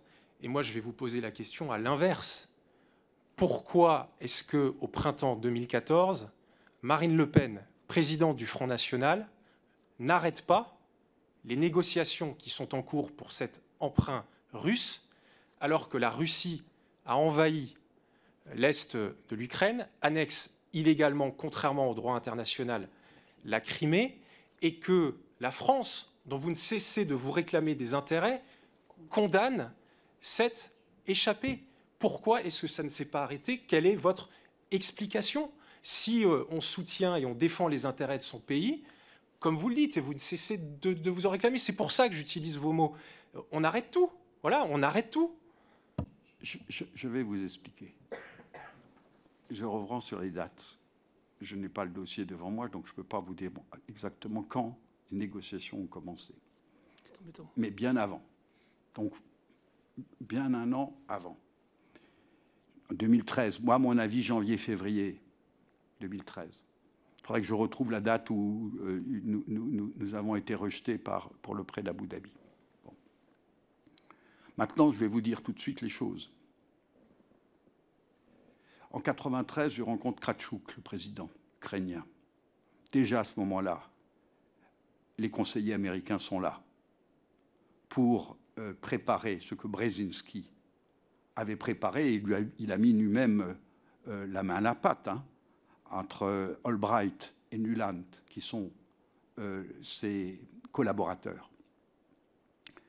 Dès la chute du mur, deux choses étaient fondamentales pour les États-Unis. Qu'on ne mette pas la main, la France, sur la défense polonaise. Car si la France faisait ça, les États-Unis ne peuvent pas contrôler l'Europe occidentale et l'Europe de l'Est. Et c'est pour cela qu'ils avaient lancé l'opération sans même consultation de leasing, selon des méthodes un peu spéciales.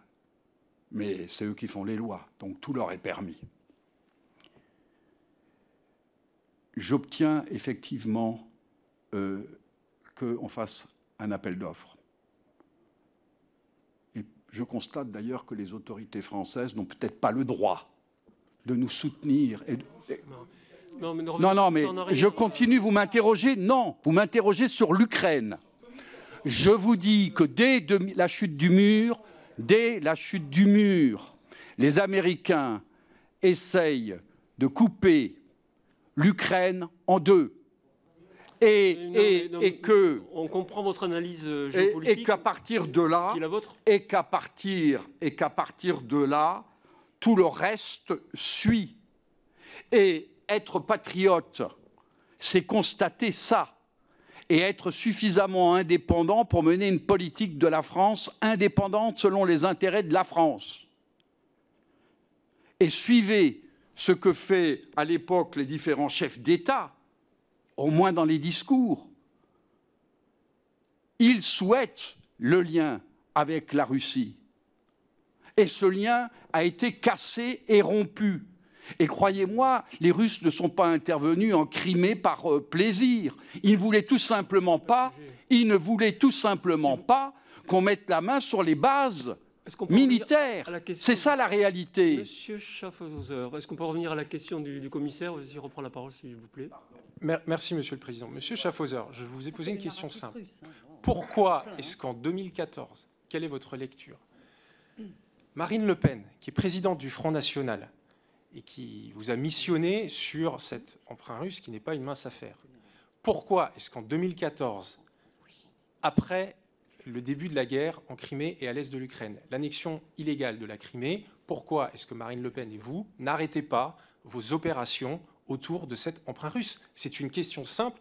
Apportez-nous la réponse. Qu'est-ce qui préside au fait que dans le printemps 2014, j'imagine que quand même un moment, le lendemain du 20 février, du début de l'opération russe de 2014, est un moment posé la question, bon, cette affaire est quand même un peu euh, euh, embêtante, qu'est-ce qu'on fait?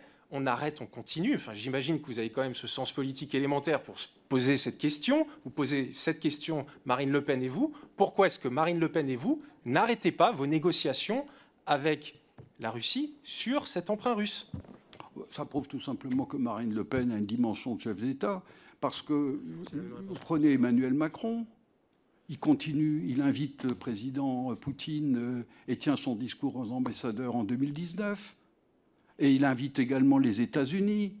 Il y a d'une part, il y a d'une part, il y a d'une part euh, la dimension, euh, bon, euh, que, que vous voulez en faire une affaire de droit en disant que, attention, je, je vous le répète, c'est de volonté délibérée que cette cassure s'est faite. Et que je la comprends.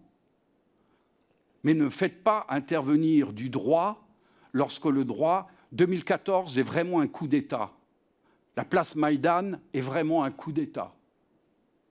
Et je sais de quoi je parle. J'ai suivi les événements.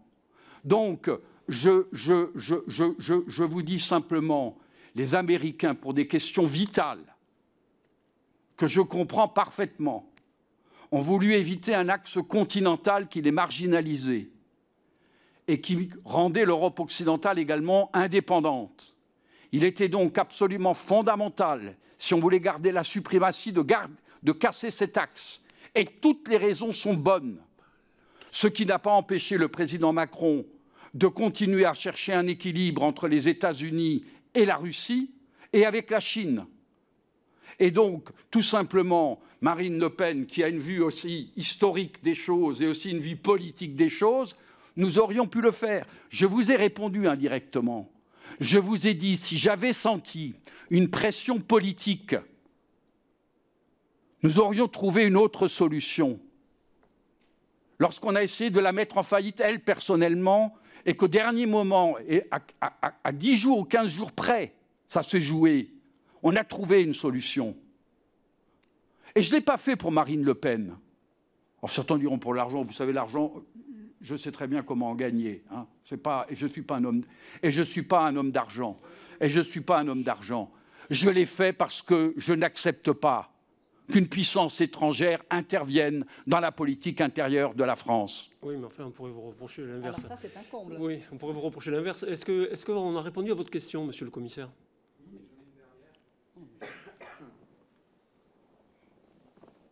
Votre micro, monsieur Schaffhauser. Merci.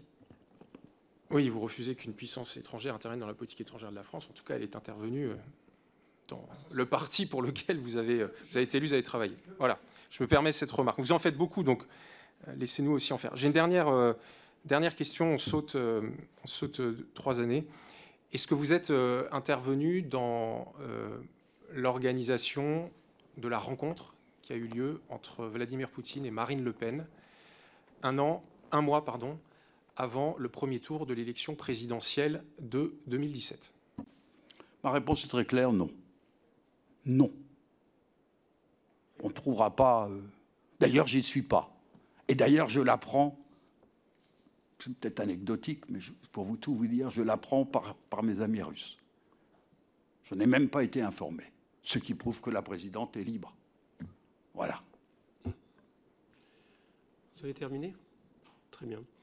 Euh, Monsieur Tanguy, je crois que vous aviez encore au moins une question. Je reprendrai un peu la parole ensuite. Oui, merci, Monsieur le Président. Désolé, c'est une déformation. J'ai poser beaucoup de questions. Euh, monsieur, je voudrais revenir, si vous voulez, sur les, propos que vous avez eus, parce que je trouve qu'il est très difficile, quand on parle des sujets d'ingérence depuis cinq mois, d'avoir des réponses factuelles, dans un sens ou dans l'autre. Euh, On entend des rumeurs, des rapprochements, et dès qu'il s'agit que ces rapprochements deviennent concrets, avec des faits précis, des moments précis, des informations précises, tout a tendance à, à s'évanouir, ou en tout cas à, à ne jamais apparaître dans la précision euh, nécessaire. Donc, vous dites à un moment, vous avez dit, et cette déclaration de France 2, j'ai le verbatim, donc je ne peux pas faire des, de, de- de fautes, que euh, M. Poutine, vous l'avez redit aujourd'hui, euh, d'une manière ou d'une autre, est d'accord avec le fait que la le, le premier prêt soit accordé.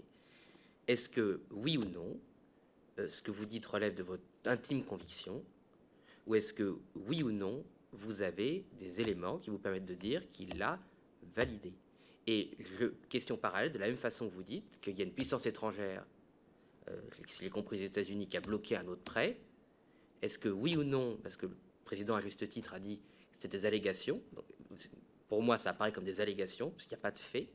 Donc les allégations sur le fait que les États-Unis auraient bloqué un prêt, moi, de l'autre côté, pour le moment, le fait que Vladimir Poutine ait autorisé un prêt m'apparaît, dans les informations que je dispose là, ce que vous avez donné aujourd'hui, euh, par un parallélisme de forme, aussi des allégations. Est-ce que vous avez des faits précis? Votre collègue a trouvé que je peux répondre de manière précise, alors il faudra que je vous réponde aussi de précise.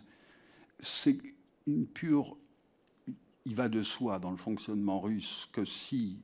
Non, je, je vous réponds. Je, vous dis clairement, il n'y a pas de lien entre. euh, il n'y a pas de lien. euh, que, le président Poutine aurait donné un satisfait euh, sur ce prêt. Je dis simplement quelque chose qui est évident. Il est informé, sans doute. Je ne peux pas le savoir, je ne suis pas dans les bancs. Et, sans doute qu'il ne s'y oppose pas. On me pose la question, ben évidemment. euh, et on me pose la question, pourquoi l'aurait-il fait? Parce que il, suit des. ça- ne me paraît pas choquant. Mais pour vous répondre clairement, c'est une induction, c'est une pure évaluation de ma personne, oui, oui, oui, absolument. Vous faites bien de le souligner. Vous avez terminé? Non. Allez-y. Euh, Merci, Monsieur le Président. Euh, oui, moi, enfin, moi, à titre personnel, quand je ne, sais pas, je ne dis pas, donc je, ne comprends pas, mais ça, dépasse cette, audition. Euh, quand, de la même façon, dans l'interview que vous donnez à France 2, de complément d'enquête, service public, comme a juste titre souligné notre collègue Sylvain Stoul, on parle de SMS qu'on fuité grâce à des hackers russes du réseau Anonymous, et on nous dit que ces, ces- oligarques russes euh, expriment une satisfaction euh, envers euh, la position du, Front National sur euh, le référendum en Crimée. Euh, de la même façon, le journaliste vous pose des questions euh, euh, là-dessus. D'ailleurs, il dit, euh, euh, il fait remarquer que ce sont vos opinions. Euh, vous dites après que Marine Le Pen a le sens de l'histoire. Donc, est-ce que oui ou non, à un moment dans la négociation de ce prêt et dans sa réalisation, il y a la négociation de 2013, comme l'a souligné notre collègue, après il y a sa réalisation au cours de 2014. Je repose la question, puisque visiblement c'est très compliqué euh, de le savoir, est-ce que oui ou non, à un moment quelconque de, la, de négociation l'attribution de ce prêt, la position des dirigeants du, Front National sur la Crimée, sur les événements de Crimée, euh, sur l'annexion illégale euh, au, au niveau du droit international de la Crimée, a été un sujet de négociation et d'accord de ce prêt ou non J'ai- été très clair là-dessus. Je n'ai pas suivi l'affaire Crimée. Je, je n'ai. La personne qui a suivi cette affaire, ce n'est pas moi. Je ne suis pas allé en Crimée. Les SMS sont lieux avec des personnes que je ne connais pas. En plus, qui sont des hackers. Ma position sur la Crimée, on s'en tient à la commission des affaires étrangères de ma position personnelle. Donc, je vous réponds très clairement, j'ignore tout des personnes et des échanges d'SMS. Je ne traite pas l'affaire de Crimée. Et, il n'y a pas eu, de pression maintenant qui consisterait à dire que parce qu'il y a eu prêt, il y aurait eu euh, par ailleurs, euh, euh, euh, comment dire, parce qu'il y a eu prêt, il y aurait eu pression sur la Crimée par les plus hautes autorités de l'État. Non. Parce que s'il y avait eu, moi-même, j'aurais dit, c'est hors de question qu'on poursuive cette affaire. Il n'y a pas eu pression. Sur l'affaire de la Crimée, par contre, je suis très clair là-dessus. Je, n'interviens pas ni de près ni de loin. Je refuse d'y aller. J'y suis invité à plusieurs reprises. Très bien. Monsieur Tanguy, avez-vous la réponse à votre question? Avez-vous terminé? Je vais reprendre la parole alors. Euh, très bien. Euh, La France Euh, continue à avoir Renault, à Moscou, etc. hein. Monsieur Schaffhauser, Pardon. euh, avez-vous effectué des, vo- des voyages en Russie ou en Ukraine avec Monsieur Mariani? Et le cas échéant, quel était le, le but ou les buts de ces voyages? Je n'ai pas effectué de voyage avec M. Mariani. Nous nous sommes une fois trouvés dans l'avion, ensemble, par hasard. Mhm. Bon, vous savez que j'allais beaucoup souvent en, en Russie. Donc, mais, mais voilà.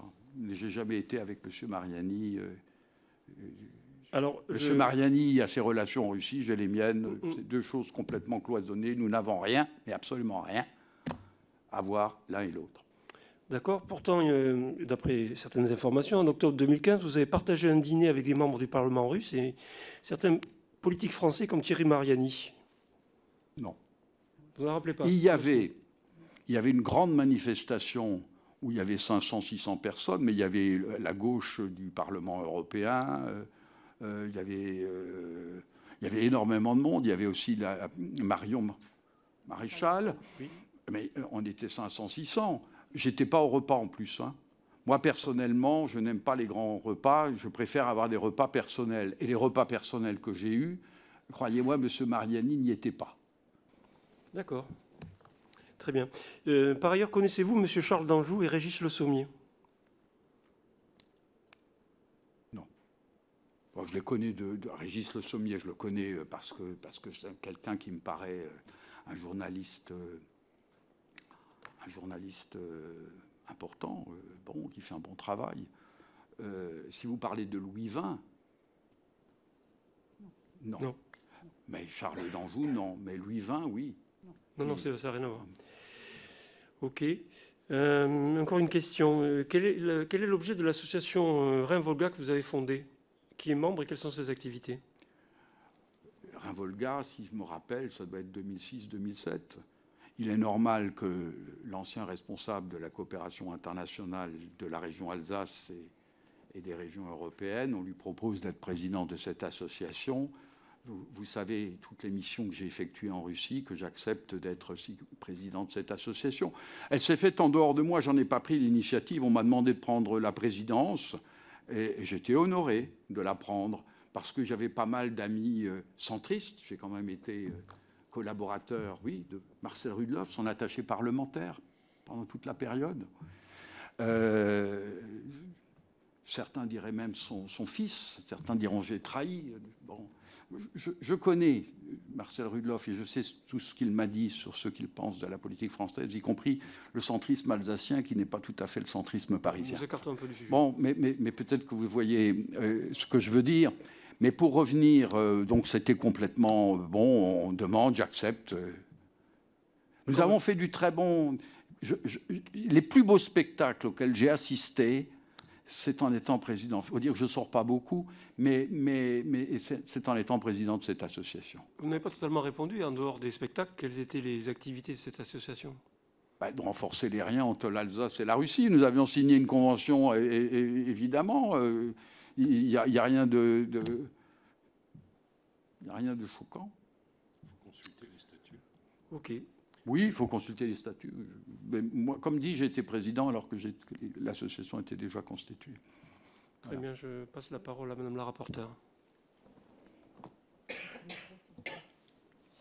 Merci, Monsieur le Président. Je, voulais juste euh, euh, faire un petit commentaire avant que de poser mes, questions, parce que vous êtes manifestement un adepte du name dropping, euh, Monsieur Schaffhauser. Je ne sais pas comment on dit name dropping en russe, mais enfin, disons, vous citez abondamment des personnalités, sou- souvent décédées d'ailleurs, dont nous souhaiterions que la mémoire euh, soit laissée en, en paix. Euh, et euh, vous avez notamment à un moment donné euh, dit que vous accompagniez autrefois euh, Bernard Stasi à l'Élysée euh, entre 86 et 88, et dans la foulée. Oui, mais vous avez dit cela et. Ah, vous étiez trompé de. Voilà, d'accord.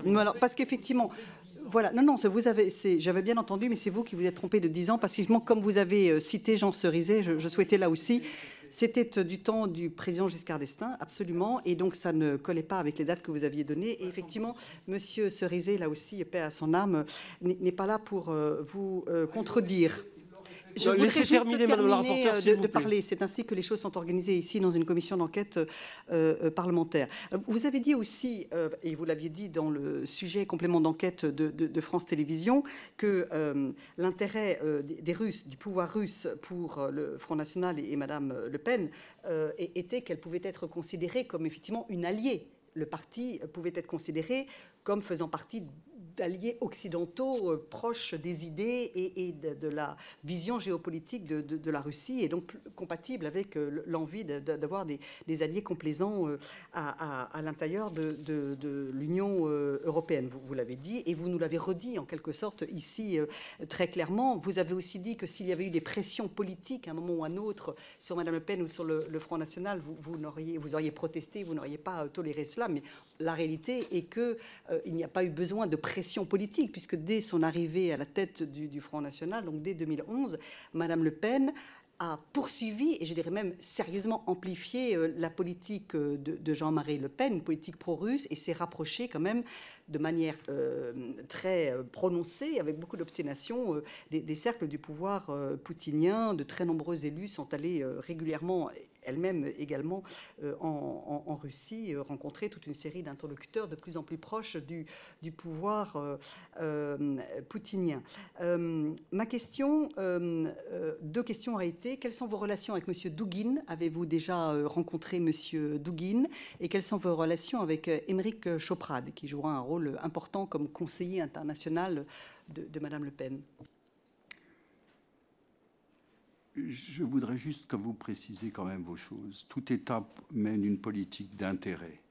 Pendant que la Russe menait cette politique, Steve Bannon, qui est resté proche des services américains, qui est resté proche des services américains, menait une... Écoutez, je sais de quoi je parle. euh, Non, mais la question n'est pas sur Steve Bannon, euh, s'il vous plaît. Oui. Euh, Bah, j'étais aussi, j'étais aussi avec lui quand il était à Londres, quand il était un certain. Bon, Steve Bannon hein, faisait le lien très efficace de tous les mouvements patriotiques ou extrémistes dans toute l'Europe.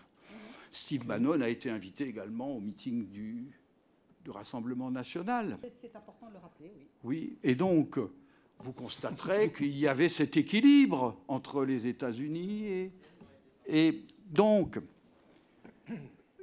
et, je crois que une fois que je suis parti, il y a aussi de bonnes relations avec les États-Unis, ce qui est le rôle de la présidente, d'entretenir de bonnes relations avec tout le monde.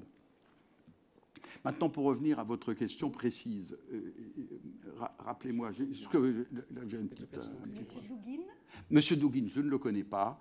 Euh, il, il- il- il a été une fois chez moi avec une autre personnalité parce qu'il était là. Je l'ai reçu. Et, euh, Il était chez vous, vous confirmez mais, mais, mais dans, dans les années, euh, je ne sais pas quand, quand- quand- quand c'était, ça devait être 2000, euh, 2009, 2010. euh, bon, euh, non, avant, Sarko était aux affaires. Donc je, je- je l'ai reçu, euh, effectivement. Mais rien de spécial. Je n'ai pas entretenu de relation. Bonjour, au revoir, je l'ai écouté, je partageais un certain nombre de choses.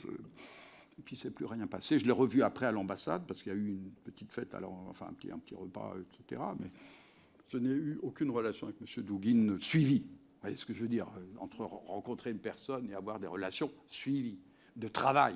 hein. Et alors, la deuxième question, donc là, c'est très clair. hein, non. Enfin, non, euh, je- je vous dis la vérité, quoi. Je ne peux pas dire autre chose, de toute façon, mais Je l'ai rencontré une fois, mais il n'y a rien. Avec Émeric Chopard. Bon, Émeric euh, est un ami, oui.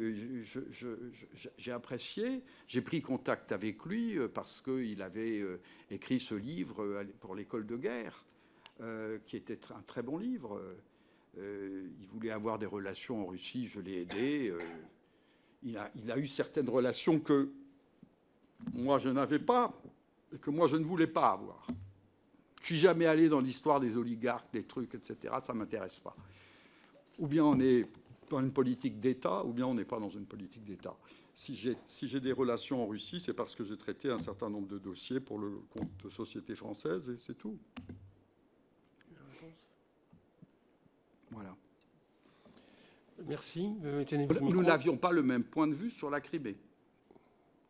Pourtant, je vous ai dit également que pour moi, il n'y a pas de problème pour la Crimée, mais Très bien. voilà. Je passe la parole au commissaire Sizenstoul. Merci, Monsieur le Président.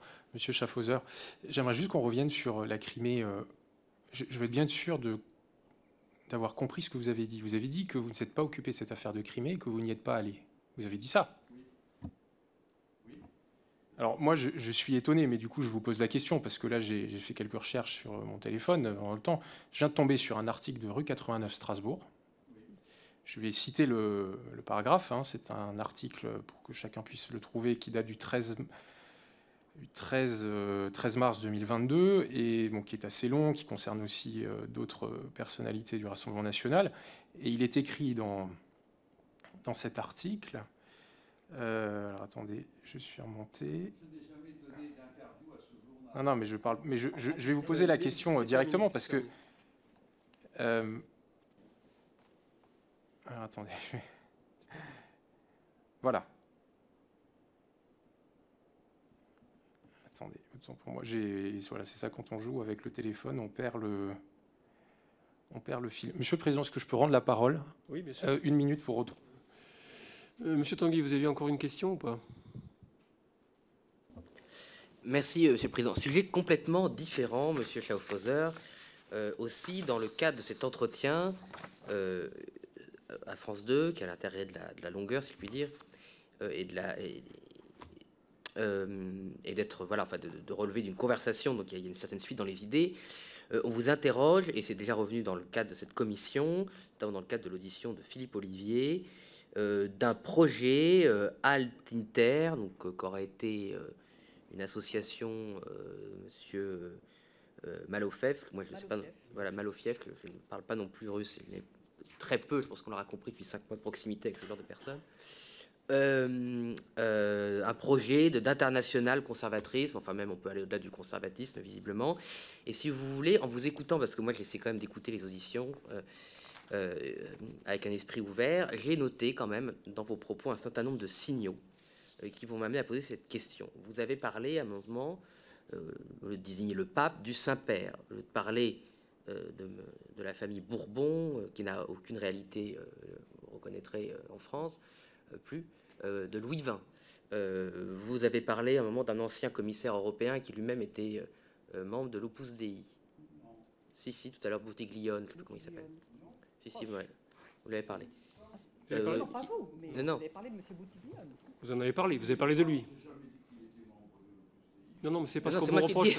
non, c'est moi qui le C'est dis. pas ce qu'on vous reproche. Vous l'avez Euh, cité, vous avez juste Euh, cité. Ça, c'est moi qui le dis. Euh, il vous est, alors je ne sais pas si c'est vrai, euh, euh, enfin, c'est pas reproché, mais vous êtes qualifié d'un certain nombre d'articles de différentes sources, aussi membre de l'Opus Dei. Euh, ma question, c'est qu'est-ce que vous pensez de l'Opus Dei, dont le projet politique est quand même très éloigné euh, de ma famille politique? Est-ce que c'est vrai? Et euh, est-ce que finalement, un certain nombre de. Vous avez vous-même tout à l'heure dit que vous aviez une très grande liberté dans vos actions. Et ma question, finalement, ce qui m'interroge au terme de cette, dans la fin de cette audition, est-ce que vous avez mené, dans le cadre de cette très grande liberté qui vous avait été accordée, un certain nombre de projets qui sont, vous avez le droit d'ailleurs de les porter, de les défendre, mais qui sont en fait très éloignés, d'ailleurs vous n'en êtes pas membre, euh, de la ligne politique, euh, dire, un peu plus laïque euh, et nationaliste euh, du Front National.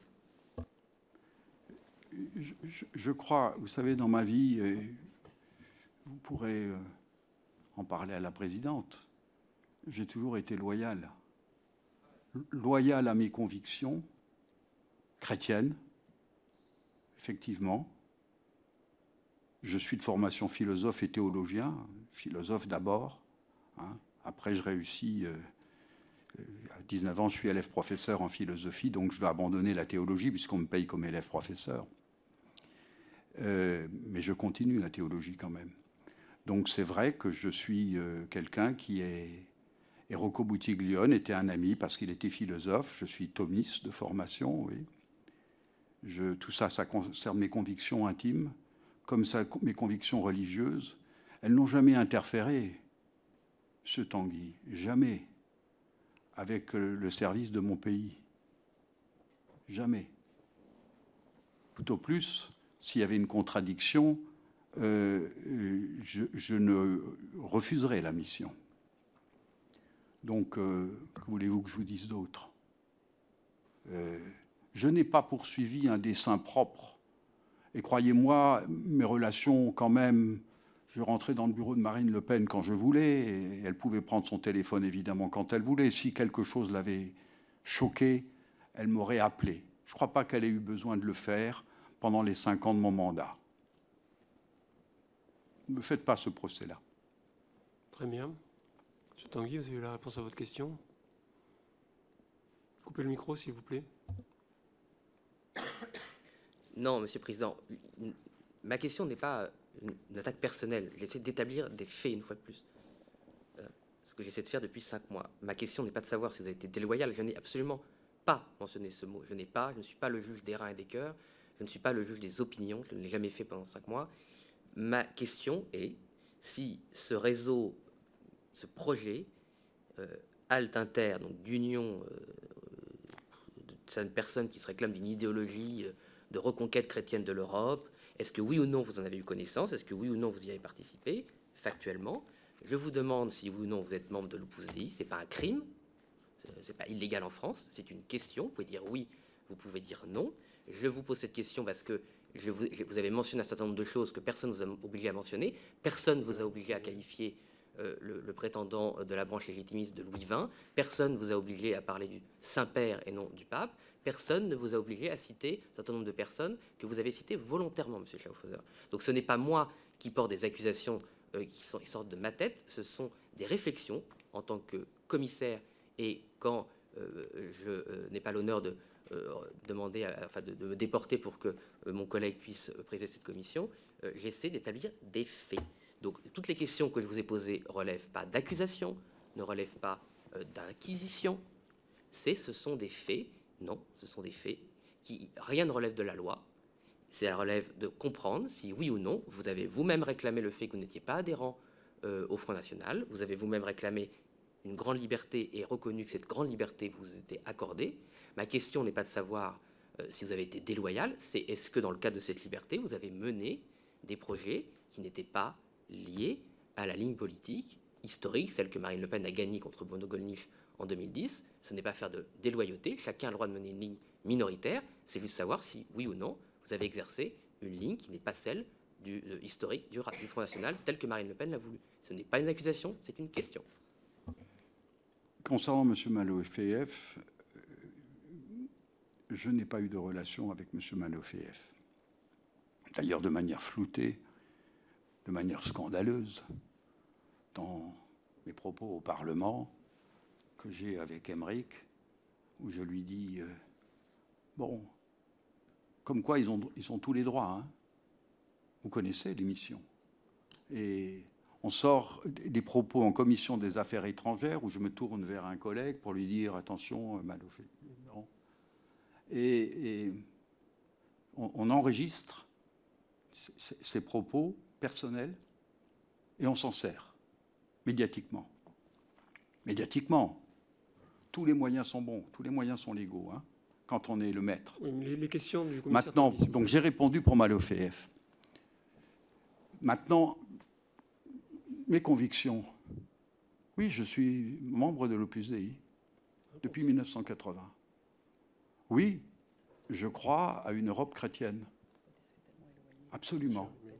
Oui, je crois qu'il eût été nécessaire de faire un approchement entre, euh, d'une part, l'Europe ox- orthodoxe et l'Europe, enfin l'Europe catholique et l'Europe ortho- ortho- orthodoxe. Pourquoi?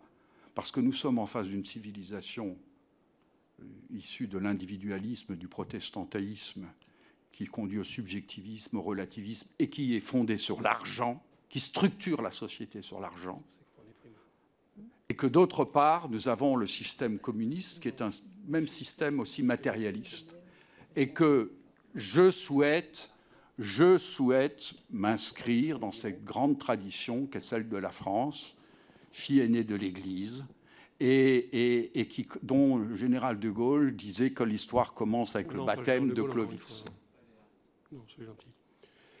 Vous me posez une convic- mes convictions, Et, et, au- Au-delà de. et je, je vous réponds par conviction qu'il est certain que, vu ma liberté, je poursuis depuis, que je suis engagé, depuis donc 1980, même dans la coopération, dans tout ce que j'ai pu faire, je poursuis ce dessin qui fait partie de mes valeurs. Ne me reprochez pas mes valeurs. Il y en a d'autres qui ont des valeurs franc-maçonnes, il y en a d'autres qui ont des valeurs subjectivistes, relativistes, etc.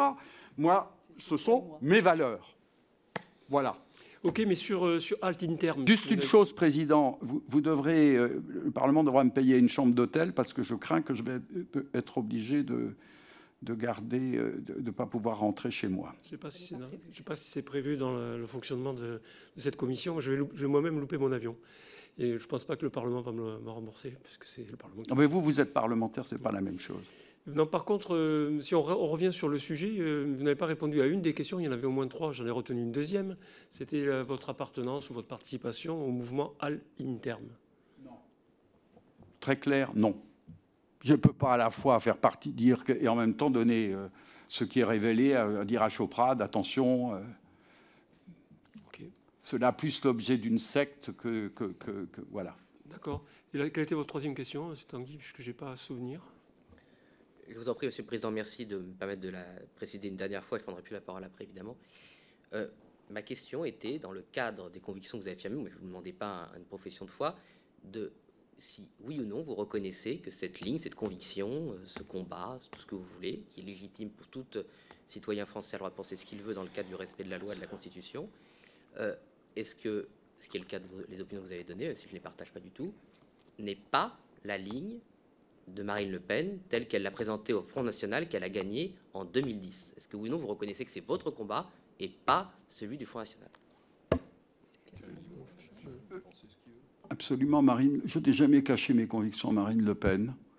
Et elle n'est jamais intervenue sur toutes mes interventions en cinq ans me disant Non, Jean-Luc, tu peux pas. Ou tu fais pas ça. Jamais. Parce que je tenais compte de ce qu'elle pense. Bah. C'est tout. Donc il y a d'une part mes convictions, il y a d'autre part, quand je parlais, quand je préparais la liste des votes, par exemple, bon, euh, jamais. Si ce que vous me demandez lorsque j'étais le, rapporteur pour la commission des affaires étrangères, lorsque lui Alliot est parti, jamais. Donc je distinguais bien ce qui était de l'ordre où je laissais liberté de vote aux, aux- responsables. Vous verrez, vous prenez les listes de vote de l'époque, euh, chacun vote selon ses convictions, je mettais. Donc c'est très clair. Et je n'ai jamais caché mes convictions à Marine Le Pen, elle les connaît parfaitement. Elle m'a quand même fait confiance, c'est tout. Très bien. Ça, Euh, ça- ça- ça a très peu à voir avec la Russie, mais enfin bon, euh, Oui, c'est une question. c'est un problème une interne, ça. question liée au RN et à la Voilà. Russie, je pense. Monsieur le Président, Oui. je je- je ne plaisante pas. Moi, je veux bien passer la nuit ici, mais, mais je n'ai pas d'autre train. Et donc, dans ces conditions, euh, je, veux bien. J'ai déjà dit aux, responsables de, de euh, fonctionnaires responsables euh, que, que je, j'en- je veux bien me déplacer, mais j'enverrai mon billet. Et je veux bien euh, passer la nuit, mais je ne prendrai pas euh, sur mes deniers. euh, Écoutez, on verra ça avec les services de l'Assemblée. J'avoue que sur ce sujet, je n'ai Voilà. pas le moyen de vous répondre instantanément. bon. Euh, vous remarquerez aussi que si nous arrivons à une heure aussi tardive, c'est que vous êtes longuement exprimé par moment et que nous avons été obligés de vous couper. Donc euh, je voudrais, si maintenant que vous avez posé votre dernière question, Monsieur Tanguy, passer la parole à nouveau à Monsieur Sizenstoul qui a retrouvé l'article cité. Merci, Monsieur le Président. Oui, effectivement, je, prie la Commission d'avoir fait perdre quelques minutes. Je m'étais euh, embrouillé dans les articles. Donc, je suis retombé sur un article, Monsieur Schaffhauser, de rue 89 Strasbourg, en date du 2 novembre 2014. Donc, euh, cet article euh, est intitulé Jean-Luc Schaffhauser, observateur des élections des séparatistes ukrainiens, dimanche. Qu'on parcourt l'article. Et à la fin de cet article, je, je lis, et ça m'a troublé. Donc, il est écrit par le journaliste L'ancien candidat à la mairie de Strasbourg, c'est vous, puisque, par ailleurs, vous ne l'avez pas précisé, vous avez été candidat aussi aux élections municipales à Strasbourg en 2014. Donc, Jean-Luc Schaffhauser est l'un des personnages clés dans les connexions du Front National avec la Russie. Et donc là, il est écrit il s'était déjà rendu en Crimée lors du référendum, entre guillemets, de mars, au cours duquel les habitants avaient le choix entre être attachés à la Russie tout de suite ou dans cinq ans. Donc du coup, c'est en contradiction avec ce que vous avez dit. Donc euh, j'aimerais juste que vous précisiez. Voilà. Vous, avez de nouveau l'exemple, vous savez, toutes les conneries qu'on a racontées sur moi me concernant. Je ne suis jamais allé en Crimée. C'est clair, c'est net et précis. Très bien. Vous avez encore une question? Oui, et du coup, j'ai une, j'ai une dernière question, euh, plus politique. Parce que vous avez, euh, tout au long de la discussion que nous avons, et qui est une discussion importante, hein, dans l'histoire des liens entre, entre le Front National, le Rassemblement National et la, et la Russie, de M. Poutine, euh, vous en êtes beaucoup pris aux États-Unis. Occident, OTAN, enfin bon, et on retrouve euh, effectivement tout, euh, tout le vocabulaire d'ailleurs que retrouve autour. voilà. Non. Ah, je ne vous permets pas, je ne vous permets pas de le dire. Je ne vous permets pas de dire ça.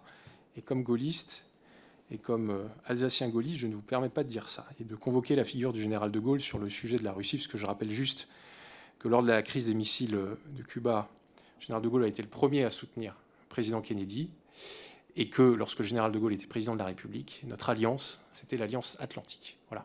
Il avait des, entretenait des relations avec, euh, avec euh, la Russie soviétique, mais euh, le général de Gaulle n'a jamais noué d'alliance avec la Russie soviétique. Du coup, je veux revenir. J'ai une question quand même politique. Parce qu'en vous écoutant, on a le sentiment en fait qu'il y a une équivalence entre les États-Unis d'Amérique, euh, qui est un État, ils sont ce qu'ils sont, ils ont leurs défauts, mais on peut quand même leur reconnaître euh, que ce sont une démocratie, euh, ce sont nos alliés, ce sont nos alliés, dans le cadre de l'Alliance Atlantique, et tous les gouvernements français ont fait continuer cette, cette alliance. Et de l'autre côté, euh, la Russie, euh, dirigée par M. Poutine euh, depuis 1999, euh, qui est un État dont le système politique n'est pas démocratique et qui a par ailleurs, eu des actions contre nos intérêts, notamment en Afrique, etc. Donc, moi, j'ai vraiment le sentiment que vous mettez sur un pied d'égalité les États-Unis d'Amérique et la Russie de, de M. Poutine. Et j'aimerais que vous, vous élaboriez. Rapidement, parce que c'est Oui. une question. Entre, entre, vous savez, les États-Unis d'Eisenhower ou de Roosevelt, qui se dit, qui, qui Eisenhower souligne déjà le grand, le, le grand danger du deep state et comment euh, une, euh, l'État profond, ça veut dire que c'est une petite clique de fonctionnaires ou de gens euh, qui, ont, qui sont liés par quelques sectes qui essayent de prendre le pouvoir sur l'État, sur le bien commun, à leur profit. Donc, je crois qu'il y a eu une dérive du côté des États-Unis. Oui. Je, je, je le crois sincèrement. euh, euh, quand je prends l'Irak, li- la Libye, la Syrie, euh, euh, les- chaque fois les, les faux motifs. euh. Maintenant, je vais être très clair avec vous, et mes amis américains le savent, je l'aurais encore dit mille fois. Je connais aussi la Chine. Si maintenant vous me faites choisir entre la Chine et les États-Unis, je cours aux États-Unis. Donc mon camp est aussi choisi. D'ailleurs, je crois qu'on aurait pu éviter cette guerre, qui pour moi était inéluctable vu, le rapport de force. Mais si on avait, si les Allemands n'avaient pas voulu jouer euh, d'une certaine manière, avaient voulu rassurer euh, les États-Unis, si les Allemands euh, n'avaient pas voulu à tout prix jouer l'alliance avec la Chine pour revendre aussi euh, Made in Germany euh, et, dominer économiquement, si les Allemands avaient rassuré sur le fait qu'ils font ce choix-là, Moi, ce choix, il est très clair. Maintenant, vous me parlez, ça n'a rien à voir avec la Commission. Ce, choix est très clair euh, euh, entre le monde chinois communiste et entre les États-Unis. J'ai choisi les États-Unis.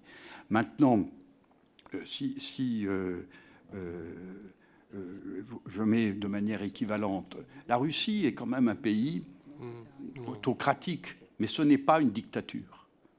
Cro- Croyez-moi, j'ai- été en, Chine, c'est pas du tout j'ai pas du tout eu la même impression en- en- quand quand je suis en Russie ou quand je suis en Chine, c'est pas la même chose. Donc, euh, je ne crois pas qu'il faut mettre en place des valeurs. Il faut se poser la question euh, les alliances.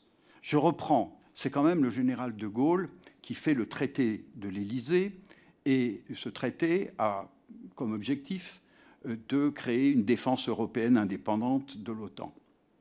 Bon, ce sont les Allemands qui, euh, sous pression d'un certain nombre de députés du Bundestag, que les Américains connaissent, puisque ils ont un passé, disons, je ne vais, pas- prendre, ils ont un passé et sont tenus, euh, qui font remettre l'OTAN. De Gaulle a pris ça, il le dit dans ses mémoires, comme une trahison. Euh, euh, donc, euh, De Gaulle est quand même celui aussi qui fait cette alliance avec la Chine communiste et, fait ce voyage dans un pays communiste. La Russie n'est, la Russie n'est plus communiste depuis, depuis la, la chute du mur. Je vais être obligé de. On ne peut pas se lancer maintenant dans une analyse géopolitique globale parce qu'on sort complètement du sujet, même si c'est la question qui vous a été posée. Mais je pense que je souhaite interrompre en tout cas ce, débat qui est passionnant, mais qui n'est pas dans le cadre de cette commission. Moi, j'avais par ailleurs, si vous avez terminé, euh, commissaire, euh, encore une question à vous poser qui revient plutôt sur, euh, votre, parcours.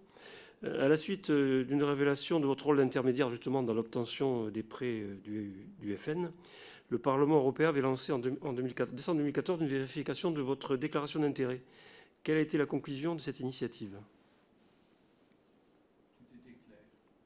Tout était clair, il n'y avait pas de.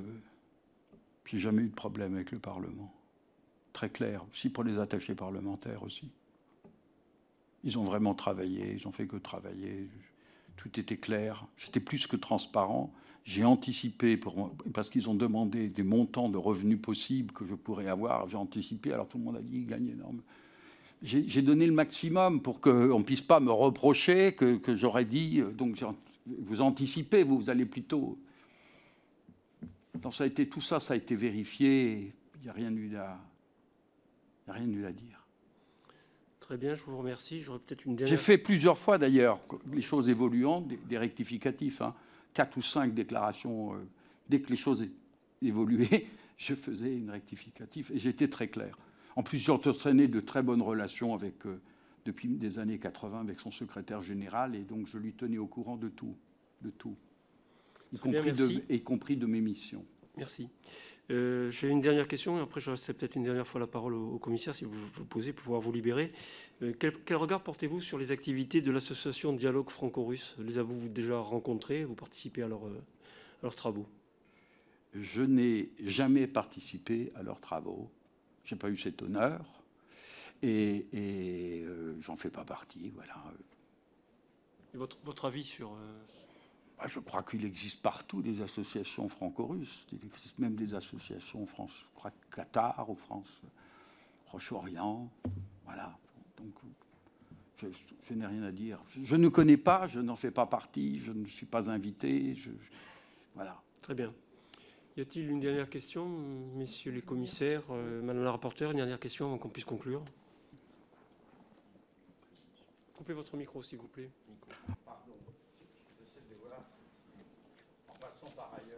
Oui, passons par ailleurs, oui.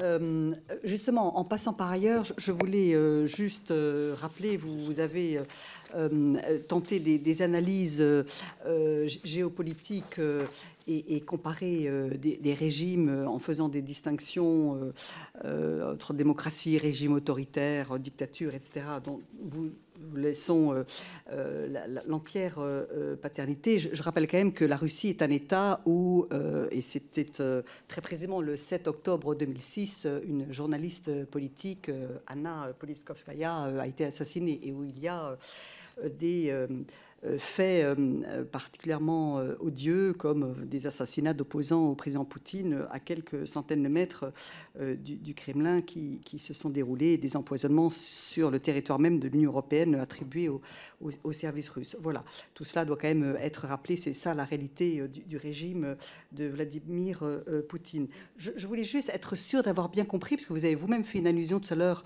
euh, j'avais pas l'intention d'aborder ce sujet, mais vous avez fait allusion aux assistants parlementaires en disant que tout était clair et transparent. Donc vos assistants parlementaires n'ont pas du tout été pris dans la tourmente judiciaire qui s'est emparée de nombreux assistants parlementaires accrédités que le Front National utilisait comme force de travail euh, et qui étaient pourtant des assistants parlementaires accrédités, euh, censément travailler uniquement euh, à, Bruxelles pour les députés euh, euh, européen du Rassemblement national. Donc vous, avez été de ce point de vue-là extrêmement clair et extrêmement tranché. Ça n'est pas du tout votre cas et donc vos assistants parlementaires et vous-même n'avez pas été du tout inquiété par la, par la justice française dans le cadre de la grosse affaire qui vaut quand même voilà, une, saga judiciaire assez sérieuse. À, à Madame Le Pen euh, et, et à d'autres députés euh, européens. Euh, mais est-ce que vous aviez, du temps où vous étiez membre du Parlement européen, est-ce que vous aviez eu vent de cette organisation assez systémique visant à faire en sorte que, voilà. Vous, vous me posez cette question alors que bon, les médias ont fait état d'un certain nombre d'échanges qui sont liés. C'est quand même, c'est quand même extraordinaire. Vous, vous, vous avez une perquisition. Vous avez des pièces judiciaires qui sont en possession des médias. Ou entre autres, dans un mail, je m'oppose à cette. euh, euh, je m'oppose à cette. euh, Bon, c'est public. Vous Bon, opposez- est-ce que c'est normal Non, mais la question, moi je Non, vous vous retourne. à quoi? Est-il- Vous opposez à est-il- quoi? Je, je- je- je m'oppose. euh, je m'oppose à. Bon, euh, je, je- vois que ça n'a rien à voir d'abord. Lui-même a posé la question des assistants Mais non, mais, d'abord, ça n'a rien à voir avec eux, absolument. Mais, mais moi, je vous pose la question. Vous voyez, le, le pouvoir de puissance étrangère, nous sommes dans une démocratie. Nous sommes dans une démocratie. Des pièces judiciaires sont en possession des médias. Vous trouvez ça normal? Vous, comme parlementaire, vous trouvez ça normal? Vous trouvez ça normal que, que- que lorsqu'une affaire n'est pas, n'est pas... Et entre autres, co- co- comment pouvez-vous accepter ça? Comment vous pouvez-vous accepter ça? Et, et on me sort dans l'émission, on me sort dans l'émission, euh, ce, ce- ce- ce mail que j'adresse personnellement à, à- à Valéran, euh, euh, lors, lors puisqu'ils ont regardé tous mes, tous mes mails pendant 5 ans, 6 ans, euh, même retourné jusqu'en 1990. Jusqu'en 1990. Bon. Euh, donc, euh, je, trouve ça très grave. Je trouve ça très grave. Je, je- je- je- suis, euh, je suis choqué. Ça- je n'aurais pas à m'exprimer sur cette chose-là si ça n'avait pas été rendu public. Ça regardait tout au plus la police judiciaire, mais ça ne regardait pas la France. Je trouve très grave que des affaires confidentielles sortent pour fragiliser, en l'occurrence, on cherche à fragiliser Marine Le Pen.